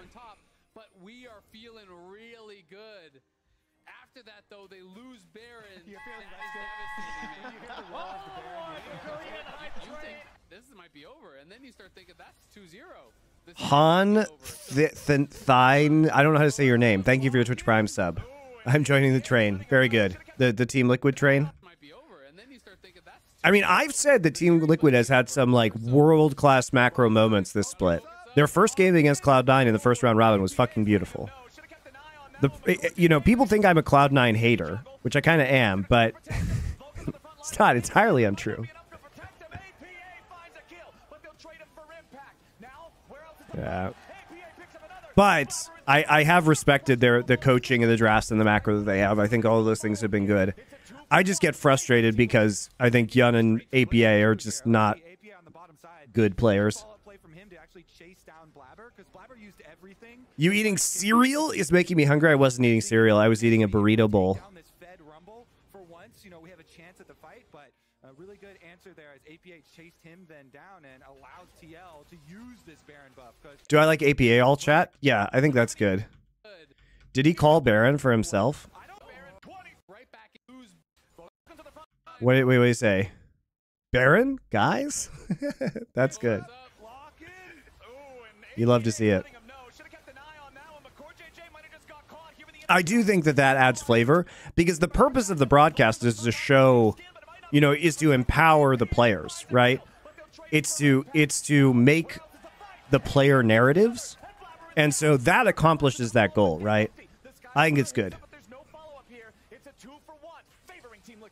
They can get straight to pushing too here. Let's see APA on the bottom. As the Mexican burrito bowls were sacrilege, they're not sacrilege. I'm sorry. The queen, cuisine of Mexico is so great that we can fusion it in very good ways. I make very legit Me- Mexican food as well. But I'm sorry, having some rice and salad, beans, cheese, and, uh, you know, delicious marinated chicken, and s- homemade salsa all in a bowl is just fucking good. I make tons of very legit Mexican food.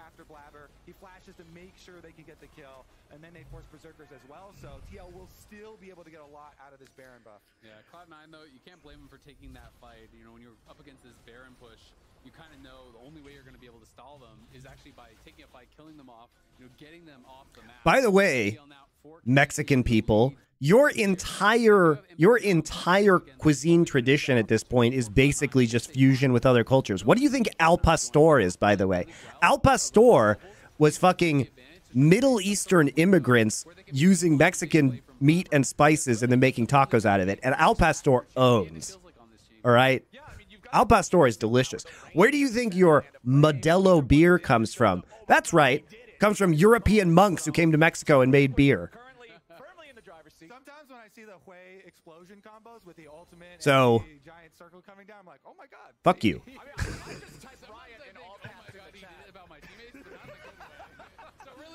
And I love Al pastor.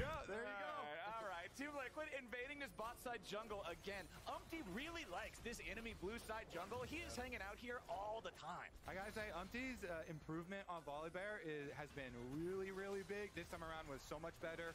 Um, staying super aggressive with it, going for bottom side of the map camp.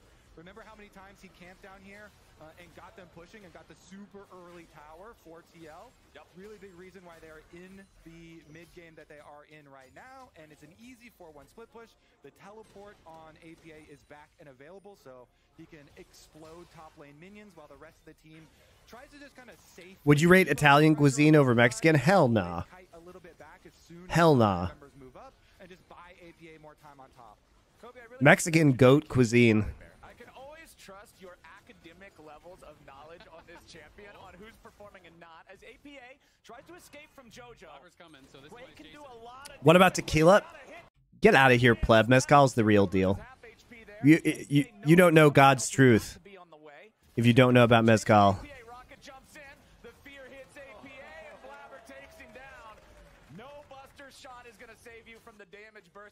So nicely done from C9 to find that. Yeah, well played there. They knew the flash was down for APA because he spent it on. I've had Barbican, yes. Spells. JoJo loses half HP there. A- Soon as Cloud9 members move up. and Uh, this is good pressure by Team Liquid across the board. Coming, so this Quake one is can do chasing. a lot of damage, but he's got to hit the damn APA's dodging has been quite good this game. APA knows somebody else has got to be on the way. JoJo still chasing. APA All right, he's like, fuck it. I know I'm dead. Might as well try and all in. Yeah, reasonable. I genuinely don't understand how Thorin hates Mexican cuisine. Well, he hates cheese, Blaber on bot side. It cost them more than they wanted. They would have lost and he doesn't like spicy food. So there you go. Skills early on, it did have to be forced, but at the end of the day, they do get that shut down, and that is a pretty big one here. I uh, I opened up all chat during that little one v one between APA uh, and JoJo's just to see if they were gonna say anything. Birria ramen, the best fusion there is. That is delicious. I've had that. The- like as he missed two skill shots, but uh, since APA died, no chat from their Focus up, side. focus up. Yeah, exactly. And Cloud9 are losing, so no chat from JoJo's side. I've got to say though, this position, I love playing a lot of Tristan on mid. When you're looking over at the other side, everyone is kind of paper. I mean, Vulcan's building a bit of armor, but he's so far behind, you don't really care. Right. He's already got the LDR. He's working on his fourth item, and then you look at Renekton. He's got no defensive stats. He has a mana eclipse. Like this guy is paper as well, and the Lee Sin is also very squishy. So if he can free fire, it's his game to win. All right, welcome to the NA RAM. Five players staring down, five other I mean, Barbican's okay. It's not my favorite or anything. Dredgeline goes off. The Lee All right, let's watch this next squishy. If he can fight. it's his game to win. All right, welcome to the NA RAM. Five players staring down, five other players. Guys, what is the side lane? I mean, to be fair, Team Liquid can't really side lane because they only have one TP, and APA's TP is down, and he just used it into mid lane. But Cloud9, you know, you would think they'd be like, hey guys, we have TP advantage. Maybe we should, like, push a side lane. But no, the fudge factor is here. What is a side lane? Oh my lord. By the way, the Volibear ult does a lot of damage if you can actually hit people with it. What is it? He's at level 2. It does like 350, I think. Dredgeline goes off at the equalizer. He's just But the equalizer combined with the Volibear is just massive. Like, they don't have a plan here. Blaber's not even in range to Q2 on the Yeon anymore. And they just get Giga equalized. And then Blaber dashes into the equalizer, and then they just get three man Volibear. To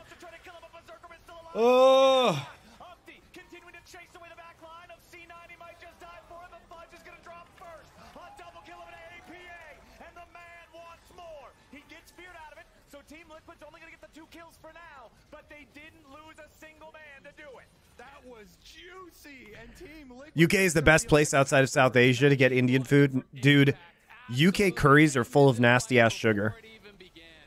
It plus the Volibear They they've been they've been de-spicified and sugared to to suit the British palate. You can get very good curry in India, but you can also get very good curry in many countries. huge, huge fight. I will tell you, on average, the the Indian curry I've had in Korea because it more closely the food more closely aligns to a Korean palate than a British one is better than the curry I've had in, in Britain. I've had so much trash curry in Britain, man. Like trash. To chase down the other two Cloud9 members, Vulcan and uh, Fudge, both annihilated, while Umti was able to chase off the entire three rest of members of Cloud9. You can see the look on Fudge's face, on Mithy's But face. luckily, Indian's one of those good cuisines that you can fi- you can find a good Indian restaurant just about anywhere try to pull off the reverse sweep in a major city, you know. That Equalizer, you know, cooked up Berserker, but also JoJo was down about 20%. Blaber was maybe 30 or 40%. Like the fight is just done, just like that. Uh, and Impact's having a hell of a game on the Rumble, and now The worse looking the place, the better the curry. Dude, that's so true. When I lived in New York City, there was like this one street in New York that had all of these rundown curry houses. And every lunchtime, it would just be all of the cab drivers, like the yellow cab drivers, just parked there who are all like Indian. And so you just looked, and if you saw like all the cabs there parked for lunch, you knew it was a good spot. And, it, and they were really good. maybe one Baron, maybe one Dragon away from taking this and pushing themselves to match point. Scorch. Beautiful flash. JJ with the Hook. flash over the wall, the dredge line into the back line, and now Blaber's going to get bursted before the fight even starts. Fudge Devour's down now. Pushing themselves to match point.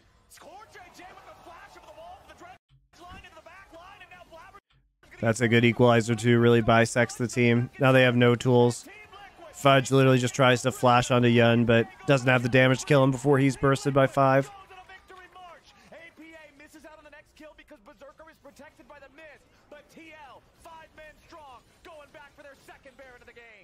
Going to be an easy Baron for them as they're rolling over this whole series. Not even this game. This, if they win this one, it's already going to be elimination match next game for Cloud9.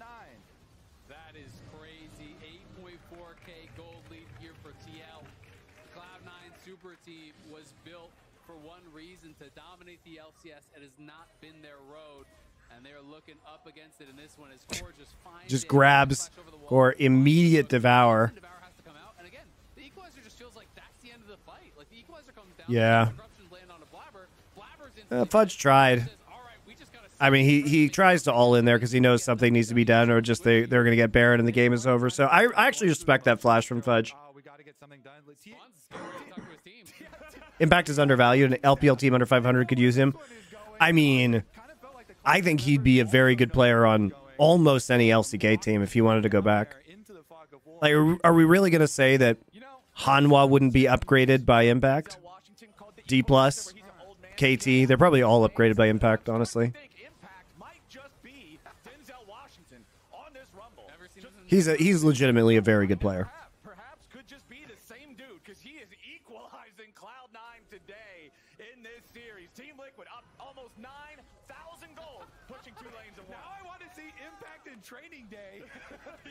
So I guess uh, at the end of the at the end of the game, like the Lee Sin did end up getting some value early on, but I just don't see it as necessary to take this pick at R two for Cloud Nine. And like the Renekton priority has been super wacky. Goodbye to the Croc. Vulcan has to gobble him up. They're trying to get away. C9 on the full retreat as APA continues being a thorn. I mean that's it. They lose all their inhibs now.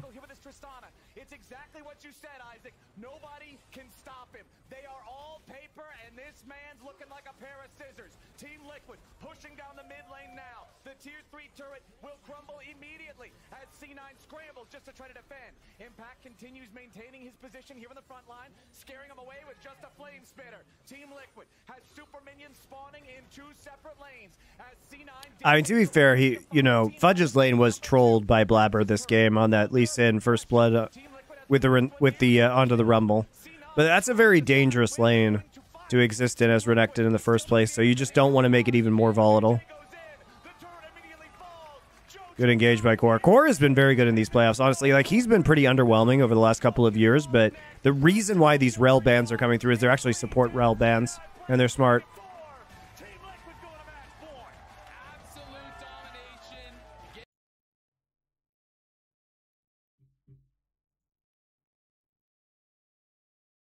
Liquid is currently up 2-0 against C9. And All right, guys, quick bathroom break. I'm gonna refill my coffee, and I'll be back.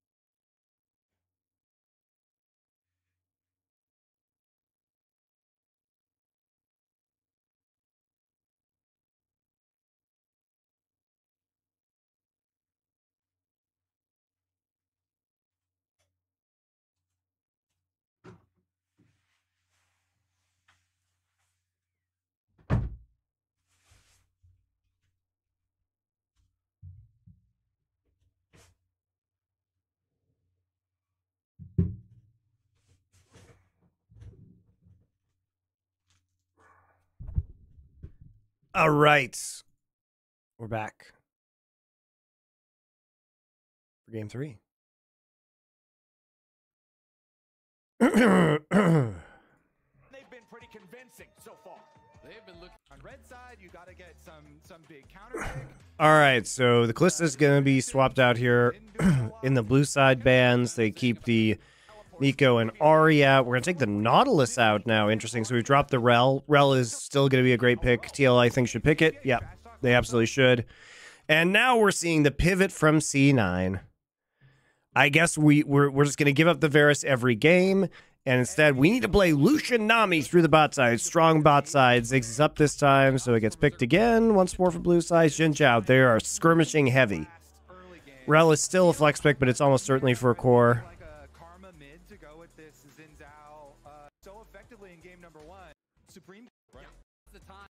Yeah, Karma mid could be good here for sure.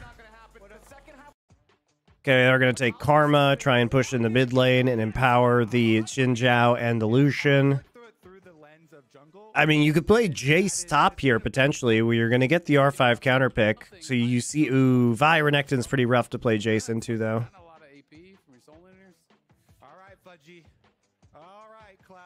Not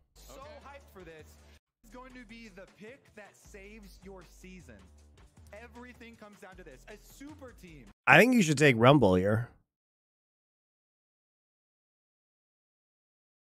I think you should take Rumble. They got JoJo and I mean, the Olaf. Okay, let's explain this. I think the Olaf is a good pick.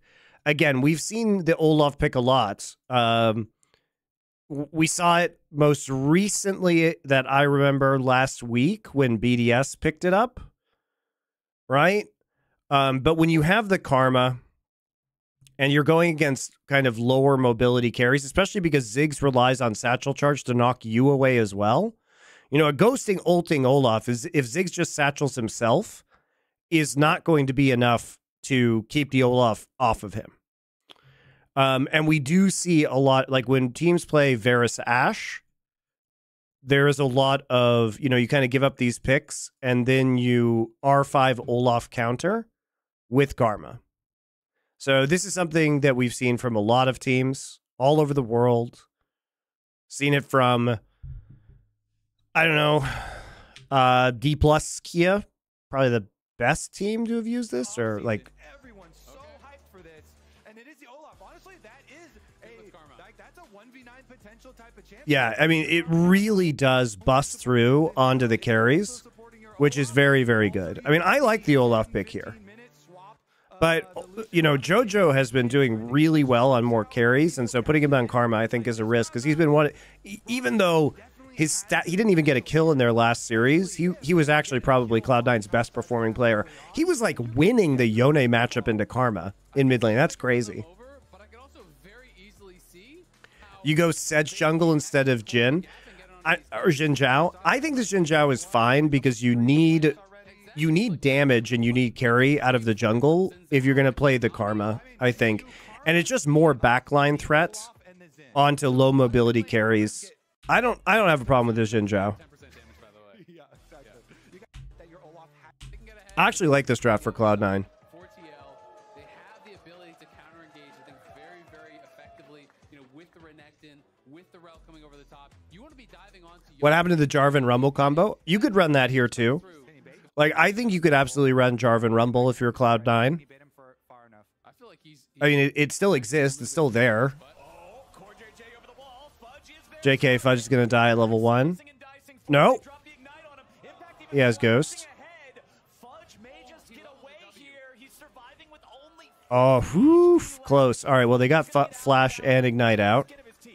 Flash of Renekton, Ignite of CoreJJ. That was very lucky he got out of that.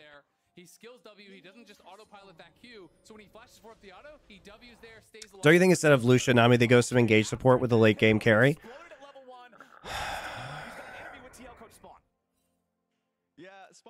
I mean, that's clearly not how they want to play the game, is all I can say. It's not bad for us, right? Because uh, we know that they can invade our top side. So obviously, nice little trap there. But I think we, uh, if we're going to use summoner spells, we should use one more summoner spell to guarantee the kill. Otherwise, don't use summoner spells and just take the chunk. But it's not bad. It's true by into this, Spawn. though, First question I wanted to ask you: You guys are two up in the series. Uh, you guys have been playing a extremely bloody throughout the playoffs. So like, is this a surprising like kind of series for you and how well you guys have been playing going into the playoffs? Just because I know you have been the harshest critic of like how slow you guys have been playing during regular season. Oh, no, like, I mean, once we got in playoffs, I think we sped up our play quite well. So it's not surprising how well we're playing today. It's just regular season was kind of baffling to us because if you watch our scrims, we're like probably close to an LPL team, and then you watch our stage games, and we're definitely like an, an, ACL team. We're just so slow, right? So uh, we're, we're much happy with how we're playing at the moment. Sweet, thanks a lot. I appreciate it. And we're going to be sending this straight to the casters. Thank you. And Spawn definitely a, a big critic, you know, of himself and of his team. He's always going to be looking for that, that extra bit of improvement. You know, one of the tweets. we saw that Spawn was a caster on LPL. Yeah, yeah, he was for a long time. Coach smile. Well, probably after they win the series. You know, He's a friend of mine. Good guy. Uh, Very good he's guy.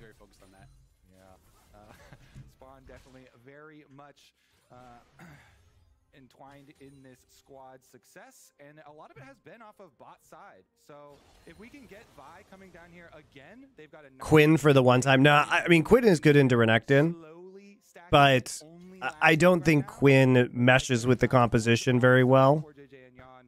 because you want to empower using the karma in the mid and late game. You want to empower a team fight carry. We're just gonna, you know, ult and ghost and run over also kind of track the follow Varus and the of Ziggs.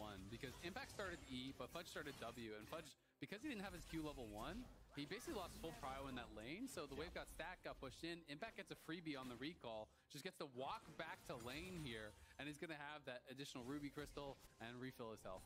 Crash here and see if they can get some poke down. We have to also kind of track the fallout of this level one because Impact started E, but Fudge started W, and Fudge because he didn't have his Q level one, he basically lost full prio in that lane. Fudge started W. We can get Oh, no, like, I mean, once we got in playoffs, I think. Sorry, I was watching Spawn. I wasn't watching So this. It's not surprising how well we're playing today. It's just regular season was kind of baffling to us because if you watch our scrims, we're like probably Interesting. to an LPL team, and then Yeah. watch our stage games, and we're definitely like an, an, an ACL team. Yeah, that's interesting. right? So, Interesting uh, point. Good point by we're Azael. how We're playing at the moment. Sweet, thanks a lot. I appreciate it. And we're going to be sending this straight to the casters. Thank you. And Spawn definitely a, a big critic, you know, of himself and of his team. He's always going to be looking for that, that extra bit of improvement. You know, one of the tweets The we saw that was up on the screen was, you know, when are we going to see the TL coach smile? Well, probably after they win this series. You know, the job's not done yet, uh, and I know he's definitely very focused on that. Yeah. Uh, Spawn definitely very much. Uh, I went to sleep after game two, excited for the reverse sweep. Oh yeah, we're so psyched for the reverse bot sweep. Coming down here again, they've got a nice wave building. You can see they're slowly stacking it, only last hitting right now. And Vi clearing down towards bottom side, CoreJJ and Yeon uh, can try and set themselves up for some more success as well. It looks like him going to Krugs uh, and not walking all the way over. They're just going to let it crash here and see if they can get some poke down. We have to also kind of track the fallout of this level one because Impact started E, but Fudge started W, and Fudge. Yeah, he does get a cheater recall here. That's pretty powerful for impacts in the top side. Got pushed in. Impact gets a freebie on the recall. Just gets to walk back to lane here, and he's going to have that additional ruby crystal and refill his health. And both top laners spending their mobility summoners, but also CoreJJ committed the Ignite. That's not going to have any meaningful consequences because it has just now come back off of cooldown there in the bottom lane. It meant less kill pressure for the level one, level two, but everything's pretty much back to stock standard now as Blaber waiting for the opportunity to maybe make a E, gank he up here. die. Yeah, it's all about the slice. If Impact tries to slice, Blaber will show up, but he's spent a lot of time hanging out in this brush, and with the wave about to crash into the turret, it's just time to take the scuttle crab. That's just not one of those mistakes that Impact makes, right? The wave is pushing heavily towards him. It'd be a dangerous trade anyway, so he's just going to let it crash. And even though it looks like there's non-action on the bottom side of the map, because they know that Umti is bottom side here for Cloud9, Berserker goes for the recall there, even though it's not a cannon wave.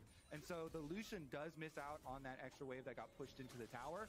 Um, and so merely by having junglers on opposite sides there, they still get that kind of presence and that kind of little uh, advantage there. This now is going to be a better recall for Yeon. He goes back, he gets his boots plus an extra cloth armor here. And Jojo might get stopped. Just gets juggled around a little bit by those satchels. But that's actually pretty awkward because Core's here now, and Core has Flash and Ignite back, and JoJo's low, and JoJo has to push out this wave because he hasn't actually been able to TP back. So if JoJo They need E on Ziggs. this could be him dying. CoreJJ should look for the crash down here. Oh, he tries to find the flash shattering strike, but JoJo's fast enough for the response. Flash for flash, support versus mid. Yeah, you can always see those plays coming because as soon as you start your Q animation on a Rell, JoJo's like, well, I'm definitely flashing because there's no way he's queuing the middle of lane for no reason. Sometimes you can do uh, the mind games though, and, Walk up and queue. you can just walk up and queue the middle of lane and then some air. yeah, you'll look. Imagine this KT with MT, dude. Enemy laner Ah, I'm so sad MT didn't, never got to a good LCK team. He was leg- he's always been legitimately very good. mind games, and this one is the guaranteed trade, and you're still happy with a flash for flash trade as for JJ because guess what? You have Hex Flash, and in the bottom lane where you get to push up on Lucian like this. The thing is, if you take Lucian Nami, you're playing Lucian Nami properly, you actually do have to step forward uh, with the Lucian, right, to create pressure, to get cullings off, to get, uh, you know, poke damage off. And that's where you get very vulnerable to Vi ults that can be followed up on by, you know, Rell, Rell engage. So Berserker is going to have to be, you know, playing around cleanse is going to be very important for Berserker in the front line. Hit a bubble on Yeon, and they're like, all right, that's about that. Not a whole lot more to it. Blaber securing all three of these grubs nice and early for the side of C9. As Umti will clean up the Drake just a little bit after that point. Still a CS advantage up in the top side for the Renekton of Impact. A big part of that again. Okay, Umti still not six. not being what they would Just normally be. trading grubs for Drake. Not too much action in the early game. Oh,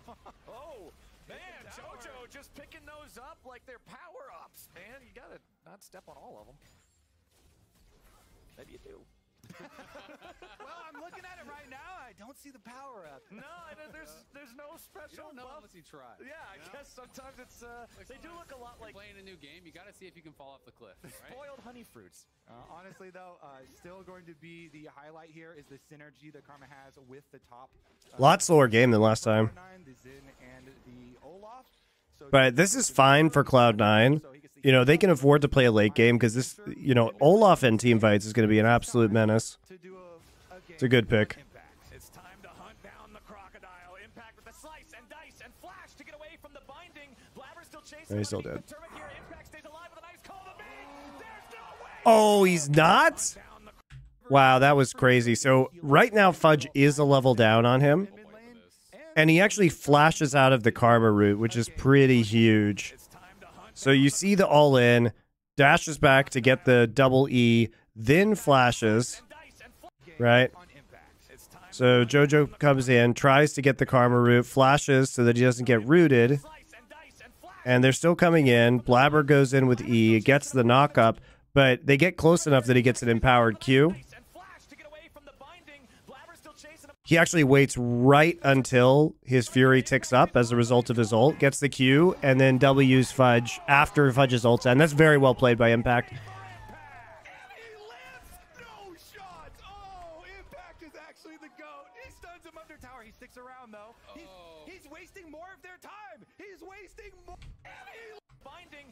And. But yeah, I mean, It's pretty awkward because Jojo walks up here and Blaber as well, and they don't actually path down to like corral him in there. So it's kind of a botched gank by Cloud9 because I think their pathing's pretty bad. Right? Like, why are we letting him into a situation where he can just E, time EE flash,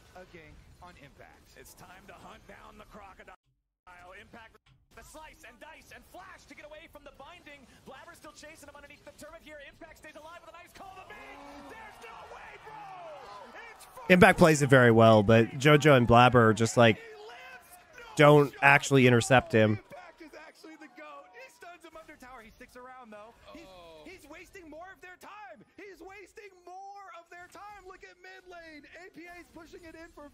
Yeah, I'm gonna plate two in mid. Impact realizes he can just get health from queuing the minion waves.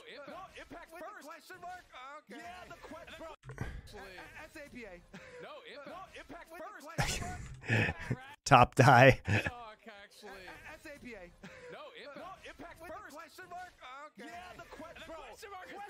Question mark is the kill shot. Come on. From the youngins here. Cardinal flash to the level one chaos. Yeah, I mean, he actually just destroyed Cloud9's whole game right not from the level one chaos. No, it was from the gank, the Rell gank. Karma didn't have flash from the Rell gank. Wasting more of their time. He's wasting more of their time. But I think you absolutely can play that better in terms of pathing.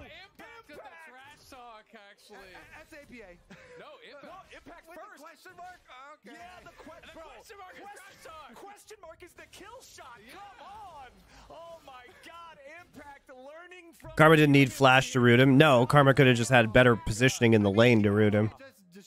Yeah, very weird. That's a backbreaker. I don't know why they just like sprinted at Renekton instead of just getting behind him first. The pressure that put on earlier, if, if Jojo has flash here, you can flash to connect the tether outside of the, the turret range. That's not the problem. That that should be a guaranteed route. You have to fully commit Jojo is just not in the center of the lane when he starts the route.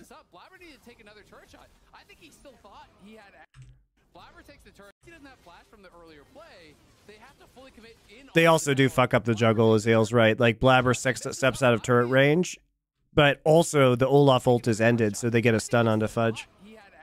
Just kind of a comedy of errors right there. That was completely bungled. If Blaber just fully committed to it, at worst, it's a trade, and I think you guaranteed get the kill. But Cloud9 really messed that up. I mean, if we go over that replay again, we can just absolutely rip it to shreds from multiple angles. Jojo Yeah. also could have taken the earlier inside route. You don't have Yep. to immediately tether as soon as you get into Yeah, I agree. Kobe's got some good points here. Already, then you get to get between the tower and his escape route, and then he wouldn't have even had to have Rough. flash. And so, like, yeah, that that play gets completely ripped to shreds. It was just a bad play, and it was it was a it was a good play by Impact in order to survive. He had very good patience with his rage for his empowered Q under turret, and then he waited to W until the CC fell off. But yeah, basically there were multiple mistakes there. Even the the tower juggling was bad.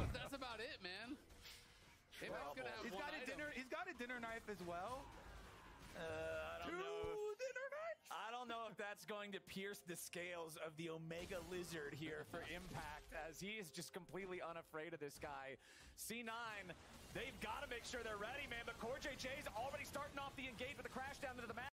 Magnet Storm, but there's not a lot of mana left on Yeon. Calling from Berserker forces TL back. Buys here though, and that's that's what they're setting up for. They're actually setting up for the redive because now Berserker has Engage the Omega Lizard here for Impact, as he is just completely unafraid of this guy. You know, I think part of the problem with this though is that Cloud9 kind of wants to play through two sides of the map with the Lucian Nami and the Olaf, right?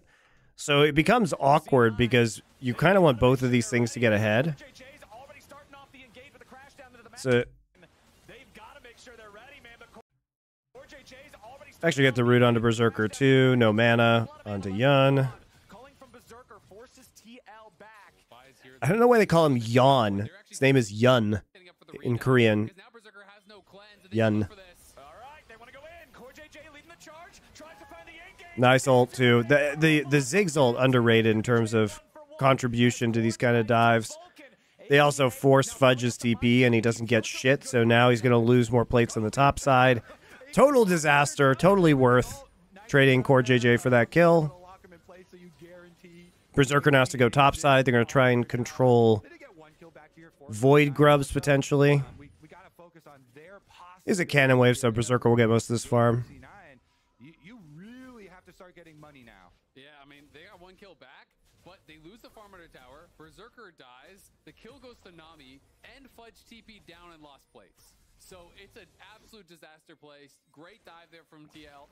Showing Cloud9 how to do it so far in this one, and so far in this entire series, as again, core out on the map. You're going to play this Enchanter duo down in bot lane. You're going to bring out the Nami, but they can't create that advantage. I like this. uh, You know, one thing that's good about Team Liquid is their lane assignments. You know, they keep uh, APA down here because Fudge is staying down, which means they're going to keep it pushed in, right? They immediately move Varus into the mid lane. Now Berserker has to take this, even though they lost a couple plates, then recall into the mid lane. It's just very awkward. Like Team Liquid's really good at getting fast lane assignments that then, you know, get free plates or keep people on their toes and force them into a reactionary state because now they get a plate in mid as well. So another big thing. Uh, never mind, we've got a duel.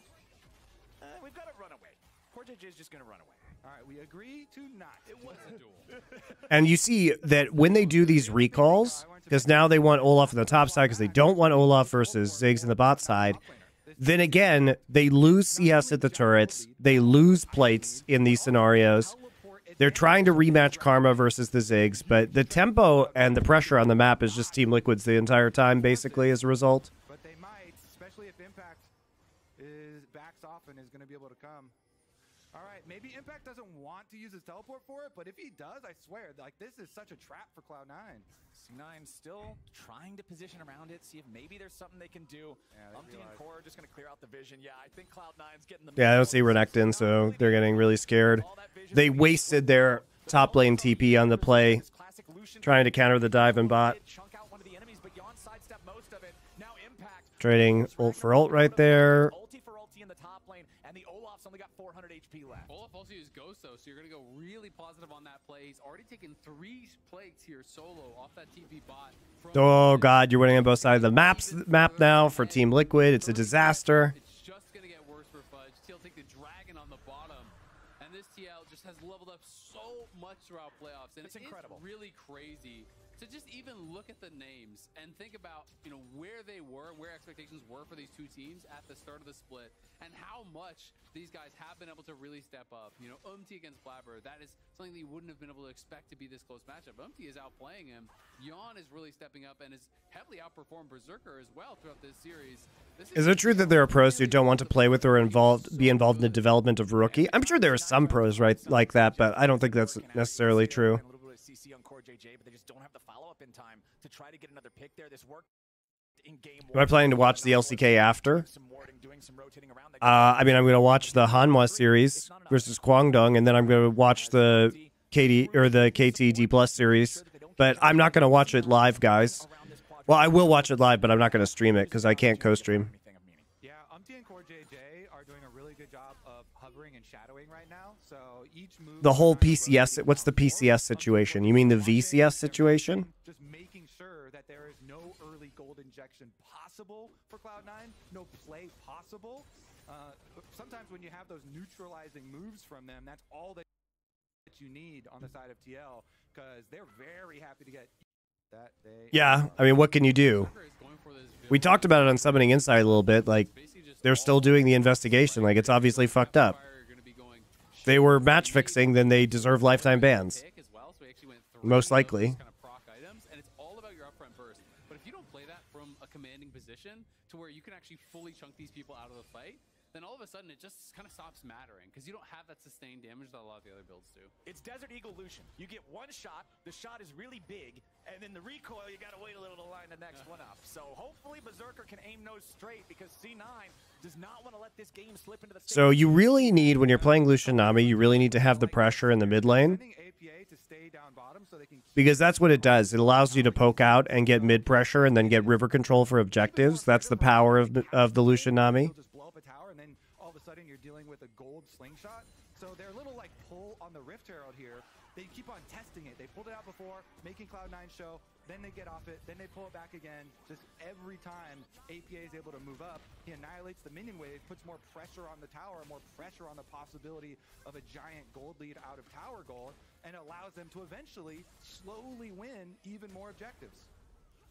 And speaking of those objectives, Team Liquid, they even know that there was the control ward from their opponents in the Herald Pit, so Umti drags it all the way down into the river. Yes, C9 is still going to be aware that it's being taken by Umti, but they don't have the direct vision on exactly how it's going down. So that means it's an easy Herald secure for TL on top of the Tier 1 Turbident top lane. Again, another Ziggs game, another really big benefit to your macro. You saw him there use his ultimate on the wave, clears out the wave, he backs way off, even with the blue trinket used to try and scout him out. APA had already left, so that allows Impact. Guess what? Renekton's Oh, I don't care if you distract the medic, that's fine. Free tower on top side, and APA, he defended his tower, used his ult, used his bombs, blew up the wave.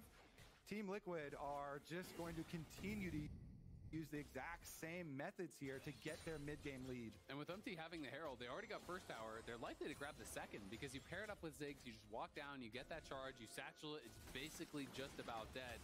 And this is the struggles. You know, the range is already becoming such an issue. It's so difficult to actually close the gap on APA and put that meaningful threat onto him without fully committing everything you have to him. And if you do that, all of a sudden, the Renekton, who's really strong, the Vi, who's really strong, the Rell counter engage, all becomes very, very problematic. And uh, the Seraphs is transformed, so the Ziggs has Flash, Satchel, and a possible shield popping up with his transformed Seraph. So it, even if he's full send in there, it's What's the over under of people that virtue signal the past the see it ending up casting or working for the Esports World Cup? Extremely high. Extremely high. It's going to be gross, guys. You know, all those people who insisted that they they cared about, you know, social justice and all of these issues. Yeah, they'll, they'll all be casting at the Esports World Cup. Don't worry. If they cared about Neom, they'll be there. If they cared about Carlos tweeting, they'll be there. Now in mid lane, it's another one of these stare downs as a TP's coming in from C9. They're gonna have everybody here. But Okay, T- Fudge TP's back in again. Blaber's already in this fight. His ult is now going to be down by the time that they can actually engage this. So he's just isolated and killed. That is a really terrible engage by Cloud9. Fudge had to use all of his summoners and ult to run around in a circle doing nothing. He literally just gets attacked by Yun. This is absolutely how you do not play this. So you get control of mid. You have wards in, into the river right here. Oh yeah, Team Liquid still in a very solid position here in game number three. Sundered Sky completed for the Vi, pretty big deal there. Black Cleaver on the Renekton. Olaf at least buffed up with this Karma. But Renekton already is dropping down and not using TP, and C9 is just behind the play again. And you just have this disconnect, right? Because Jojo isn't here. So if you if you actually want to empower, like you actually need Karma to be with the main crew so you can provide speed, shields, everything like that because that's the point of your composition. If Karma is in bot lane and doesn't want to use TP, like riddle me this, what the fuck is the point of making this TP play if Jojopyun's going to be on the side doing absolutely nothing? because you these are your carries. You need them into the back line of the fight, and you don't want to fight these skirmishes. You want to fight front to back where the Olaf just runs through their front line. I mean, I just think it's hilarious because look, you get onto JoJo here. The the Xin Zhao ult ends right as the Ziggs ult comes through, so he doesn't actually stop any of the Ziggs damage. And then Umti magically gets out of this, which is even crazier. But look at the timing on the Jin ult. It's very well done by APA.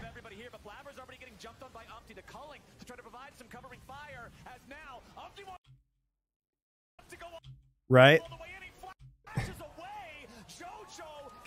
He ults onto JoJo and then cues back. He cues back onto Blaber. So they used all of that time, all of those summoners, all of those ults to get absolutely nothing done. Pull something magical out here. Cloud9 are going to be facing another Dragon Soul point. It's gone. I mean, the dragon's just being taken by Umti. Fudge is walking back. He healed up a little bit, but really think they have a real way in. They're desperate. They're desperate. They're trying to stop it. Yeon's here on the front. Not a lot of mana left in the Varus. Keep that in mind. Big chunk onto Yeon there from the inner flame. But Fudge is already dead. Olaf without a Ragnarok is just a big melee minion. And Team Liquid's coming to farm him. Yeon with the flash. Yeon saw his flash, so he draw he uh, dodges the Q. Keep firing out the rain of arrows. The Nami And now they're up three Drakes to none. Cloud9 just has no setup. I think, you know, we talked about this when we reviewed the series that they played against FlyQuest, but they have no idea how to actually execute their compositions. They don't have any idea of their win conditions. They don't know how to play. I mean, the Olaf is a, legitimately an extremely good pick here, but they're playing it so shittily that they can't do. Front to back looks so cursed th- through Ziggs and Varus abilities isolating Olaf. Nah, he should just run through, guys. I think he should just run through into the back line. He should be fine. He can get Nami shield. He can get Karma shield. You know, Blaber can go on go in with him. It's fine. TL are just stomping Cloud9. And a lot of times you can see in the gameplay when the shot calling just gets so desperate and you know they don't have a lot of options. They're just trying anything there, even trying to you know flash in for a mantra Q, maybe so something crazy happening. It is it is going really really rough for Cloud9, and you can start to see it in some of the choices that they're making. But I mean, just the setup on that fight was so bad. C9 feeling the pressure. I mean, the Olaf used literally both of his sums and his ult while being isolated and not being able to do anything. C9 lose this game. Not only do they lose their chance to challenge for the title as that super team, they lose any opportunity for international competition until the next chance would be Worlds. it. Later on this year, they're going after Impact. A TP is coming in, and Team Liquid doesn't want to. Remember, Fudge doesn't have TP now. Chance would be Worlds. Full sending it. Later on this year, they're going after Impact. A TP is coming in, and Team Liquid doesn't want to let him get away with it. Blaber just flashing in for the engage on Blaber. doesn't feel like ulting. So he gets stunned by impact and then queued by Umti. So he just gets stun locked and died without using his summoner spell or his ultimate. Even though if he had proactively used his Xin Zhao ult here, he might have been able to to have impact be isolated against the rest of his team. So if he sees Rell coming over the wall and he just ults right here, he can actually create a zone where the rest of his team might be able to do something or they might be able to wait. But Fudge is so far away, it's very difficult. with the dominance. Umti charging into the back line as the Mega Inferno Bomb forces the flash out from Berserker, and C9 has to continue trying to disengage. Fudge is out C9 just never actually gets a fight, like a front to back 5v5. I mean, it's good by TL. Like, they're not giving them the fights that they would normally flourish in, but Pretty big yikes. But as soon as they walked at impact, he did flinch. He walked into the alcove and he's already telling his team, "Yo, turn around play right now, immediately assassinate the Xin Zhao." And they jumped on him. Really nice kind of pincer move there. After he walked into the alcove, the rest of Team Liquid had his back. Easy collapse for them. They turn their sights onto Blaber and they take him down. Impact has just been incredible through these last two games, man. The Rumble and now this Renekton. Uh, it's feeling like uh, one team has a coaching staff and one that doesn't. I mean, that's like actually literally true, though. Spring that neither of Cloud9 ran out of money and don't have any coaches. That's a pretty crazy number, like three years ago. Oh, yeah, Impact Drift? Okay, uh, so Eh. he might not have the hands of the old man, but he does behind the steering wheel. He's still the goat, Get but eyes yeah, yeah, yeah. We might have to check Impact's driver's license here, as we do have the tier two turret being dropped in the bottom lane. Il Umti trying to get away, locked Oh, he's in, dead. That Ziggs does so much damage. Coming in from APA to Will Umti trying to get away, locked up, first down, C9 finally finds a pick. Now Impact may be under pressure, but a beautiful Mega Inferno Bomb coming in from APA to whittle down the health bars of C9. Blaber continues to charge, and Yeon is under pressure.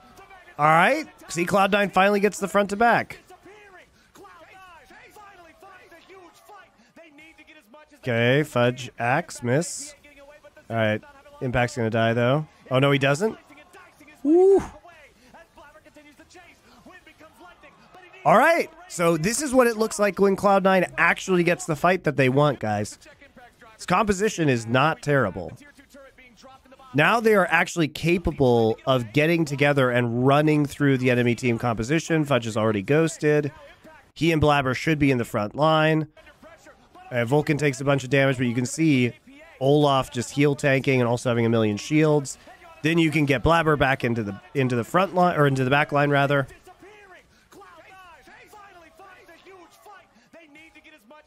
Are you serious? They didn't have money for coaches? Well, they don't have any, and they probably spent a lot of money on JoJo. So I'm guessing they don't have money for coaches. Why would they just have one on-site coach?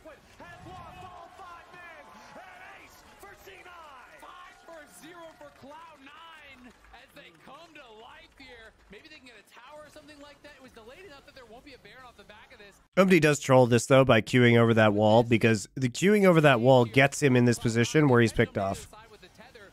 If if he literally just queues into his team, this becomes a very different fight, I think. Because he, he, he, I mean, he doesn't have ult, but still. Certainly everybody doesn't die there because it would take longer to kill Umti. Yeah, nice defense there. For Cloud9 on the turnaround. You thought maybe there was an opening Predictions for today's LCK match: KT wins in a very sloppy, fucking horrible series. They know if you JoJo to get the tether, and they know they just have to force. Wants to go yet again. Nami Wave comes in over the top. A bubble connects on the two. Umti is gonna die immediately, and Fudge is taking a kill. He tries to run down a thousand gold. It's about the best game state they've had, but TL wants to go yet again. Nami Wave Thing is, Blaber has ult again, though. See? So they use so much on trying to kill Blaber that you can see Core just has to run out of this as Fudge gets onto the back line again.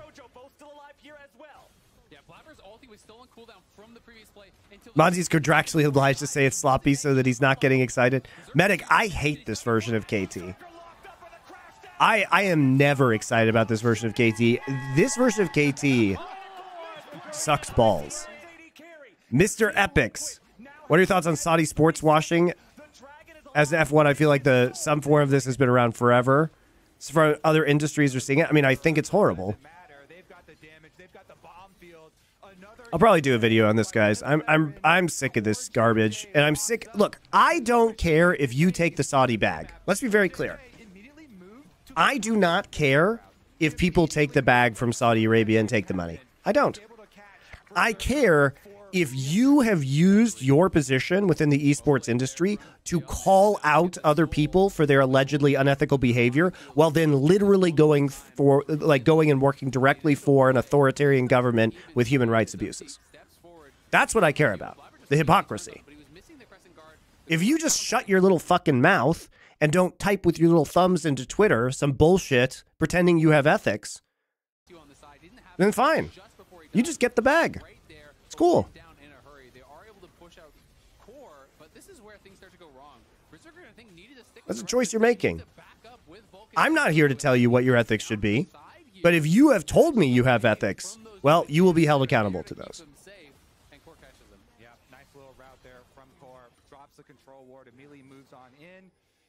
and you got to, you know, they were trying to open up something for themselves because they, they could feel the time kind of getting away from them. College was a mistake. Subscribe with Twitch Prime. Funny name. If you close the I, I just don't get it, man. You know, nobody forced you they, they just have to pretend that you have that you have moral stances on social media. um, if you close the distance, now it gets harder Nobody forced you to do that. So if you actually hold these moral stances, then you you literally cannot work with Saudi Arabia. If you care if you care about the distance now LGBT rights, you cannot work with the Saudi Arabian government. Period. Facts. Are we okay with people who said those things and also won't take the money? Yeah, fine. Yeah, that's fine. Totally fine. But the problem, guys, is that people use people on social media use certain things in esports, such as like Carlos with a video of Andrew Tate in the background, to like fuck up Carlos's life. And I'm not saying him partying with Andrew Tate is good because it's like obviously dumb and not not good. But if we're going to all if we're all going to dogpile Carlos for that, then why can't we just do it when it matters a million fucking times more? Right? When it when it really matters that we know factually that the purpose of the esports World Cup is to burnish Saudi Arabia's image and to make sure that people like them and don't focus on the human rights issues. And there are extensive abuses in this space. That's what I have a problem with. If if you hated NEOM, you should hate this a bazillion times more. That's it. If if your stance is I don't give a shit about what happens other places and I'm just in it for me and I want the bag, then fine. But don't go out there and try and win social media points and win win in the PR game by bagging on other people on social media. It's fucked up.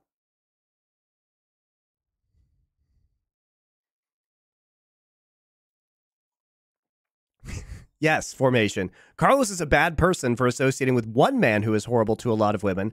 However, it's okay for everyone to associate with an entire nation which is horrible to all its women. Exactly. Exactly. Been a fan of yours for years. Thanks for all the years of great content. I also blame you for making a KT fan during the someday Pickaboo era. Yeah, well, we all are suffering now. So, I mean, this is my problem, guys. Let's keep going. Finish off your kill target, and they, they just have to keep on looking for something. So this is how you use it. Yes, Berserker oh, wants to chunk out people. Okay, he takes about an equal chunk in response. Umti already on the flank, and Fudge isn't there again. I mean, you you literally just can't fight this way, right? If you are C9, this is what I mean by they don't understand the win conditions of their compositions. So Fudge is doing Raptors. Fudge is doing Raptors. Impact sees him, right? They know where Impact is. There's a ward right there. Impact, Impact sees him. He marks Fudge and is like, all right, Fudge, if you want to get to this fight, you're going to have to blow Ghost and Ult well in advance of the fight to get through me. And so, why is Berserker dashing forward when Vi is on the flank? They literally can get there faster from all angles. Here's Rell. And the one thing that matters this guy, Olaf, is the most important person in this composition. He's the most important. He has to be there, and he's never there. He's never there. And so Berserker dashes forward with the culling, not the time you want to dash forward. Yeon misses his ultimate, but he just sidesteps. It doesn't matter. APA throws out the bomb, does a pretty good amount of damage to Berserker right here. Also, Jojopyun, I guess. Oh, Umti hits him actually with the Q. So Um- Umti hits him with a full Q auto E combo, right? And then Berserker actually has to flash out of this situation. But Fudge doesn't need to be doing Raptors right now. And if Fudge is doing Raptors, why is Berserker dashing forward? He has no idea where the fuck anybody is. Berserker literally flashes, Yeon flashes, follows him, then Umti just ults him.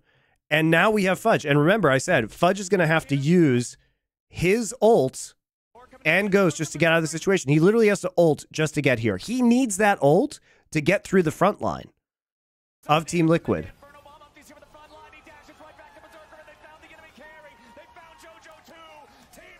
You have you you literally pick the Olaf to combo with Karma to get into the back line to kill Ziggs and Varus. And Varus is flashing forward in these fights because Olaf is not there.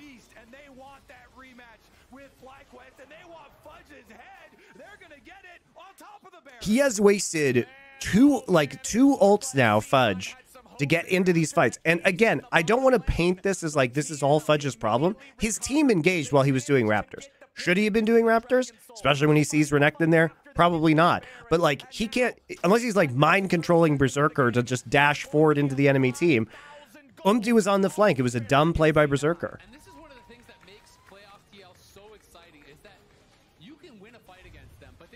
Yes, they knew Fudge was being zoned and engaged anyway. This is what I'm talking about.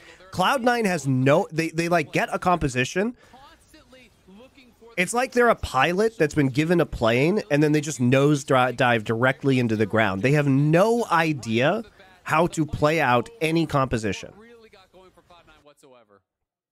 And now you're seeing, was a now grin. they know. That was a grin. I It's tragic. That's a smile. He's, he's ready.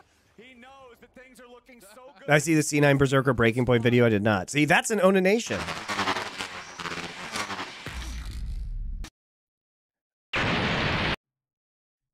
It's, it's just pathetic. Like, it's a pathetic that this is a professional League of Legends team.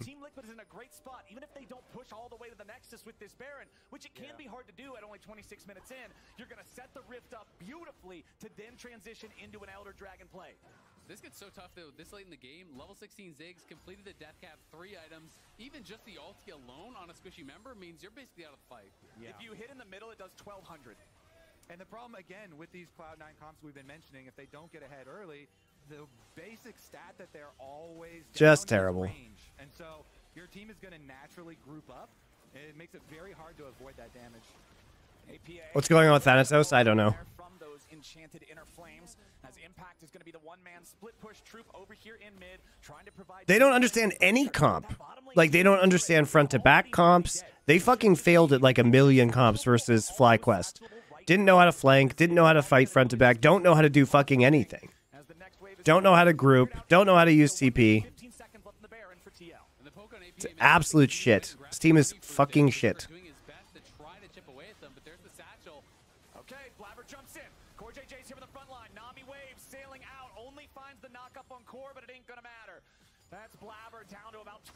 HP. That's Vulcan with no ult. C9 backing away as the inhibitor in bottom lane will die in three hits to APA. Meanwhile, mid lane, the pressure continues from Impact to Baron. Still 45 seconds left as Team Liquid claims inhibitor number one. Ooh, these uh, 545, now 640 AP Ziggs autos, demolishing objectives. Absolute insanity here. Team Liquid on the brink of a rematch with. What's more depressing, C9's play, or the fact that they are top three in an A? I mean, 100 Thieves is also garbage. Very exciting one. I mean, they're all garbage in different ways, but Team Liquid at least plays like a fucking team. if you're going off the previous series, And they know what they should be doing in a given situation. rematch to try And they've had like very good macro plays, and like the Baron call last game was a great example. It's a really good Baron. You know, for a series, and it beat it by 40. Like legit, this team has very good macro. Like not even just in an NA sense, like Crawling it out. Just generally good macro. Looking for their rematch. Were devastated in that game five loss and have been hungry to make their way back through the lower bracket to try to get a chance here for what would be their first title in a long time. TL have not won an LCS title since Doublelift left. And this new era of TL has been trying with so many different rosters to really make it happen. And I think we've talked a lot about how Yeon has been performing so much in playoffs for TL. What a statement it would be for him, this young player coming up through the academy system, to be the one who can actually finally fill Doublelift shoes. I mean, I don't think Licorice necessarily fixes this team. They have no shot calling. That's the problem. Um, they they don't have a brain. So unless Licorice is gonna like fix all their shot calling issues, which is would be unusual for a top laner. Get a fight there because they know they don't have a lot of vision out on the map. They have these couple pink wards, a little bit defensively. They have to get out there and try to challenge for this Elder. If they could steal the Elder away, if they can get a fight off that, that's maybe one of the ways to kind of race this gold lead, make it not matter. But it's going to be so tough. And again, TL just play the map. They just attack Fudge. Fudge trying to go in after APA and Impact, so be kept alive by the Sterak's Gage, but now the rest of the fight, Vulcan Dude, they refuse to have one engagement. I mean, Fudge needs to be there, right? Fudge needs to be there. Otherwise, they have no threat. I mean, look how much damage this is doing to them. They literally just get CC'd into oblivion by Rell, going to Blaber. Cloud9 is by Rell, Vi, and then the Chain of Corruption, the Varus ult. Right? Remember, this is this is a three versus four effectively because Berserker's ulting over the wall. And they get absolutely blasted by this Varus, who is just autoing for free all over Blaber. KQ. Whoop. Yep.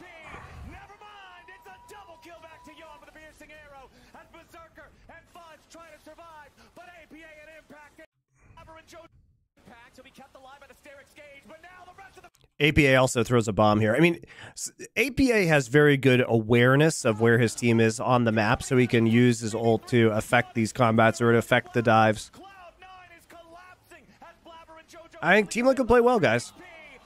Legit.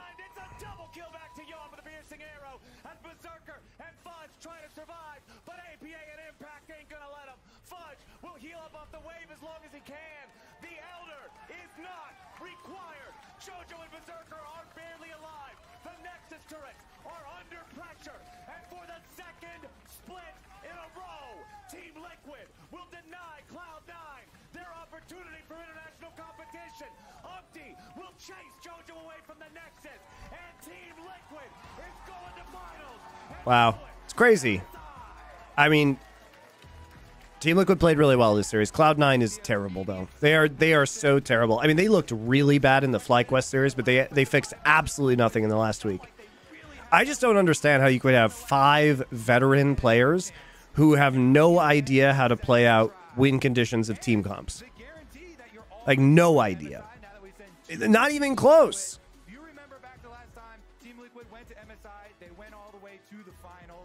Not even close. All right, guys, I got to go watch D plus versus uh, KT for tomorrow. Um, but I'll be back tomorrow for more games. Obviously, um, I, you know, if I just start Hanwha versus Kwangdong now, first off, wasn't a very good series, and uh, second off, doesn't have the most bearing on what we're doing. And probably a lot of you guys are just going to go leave to watch the live series anyway.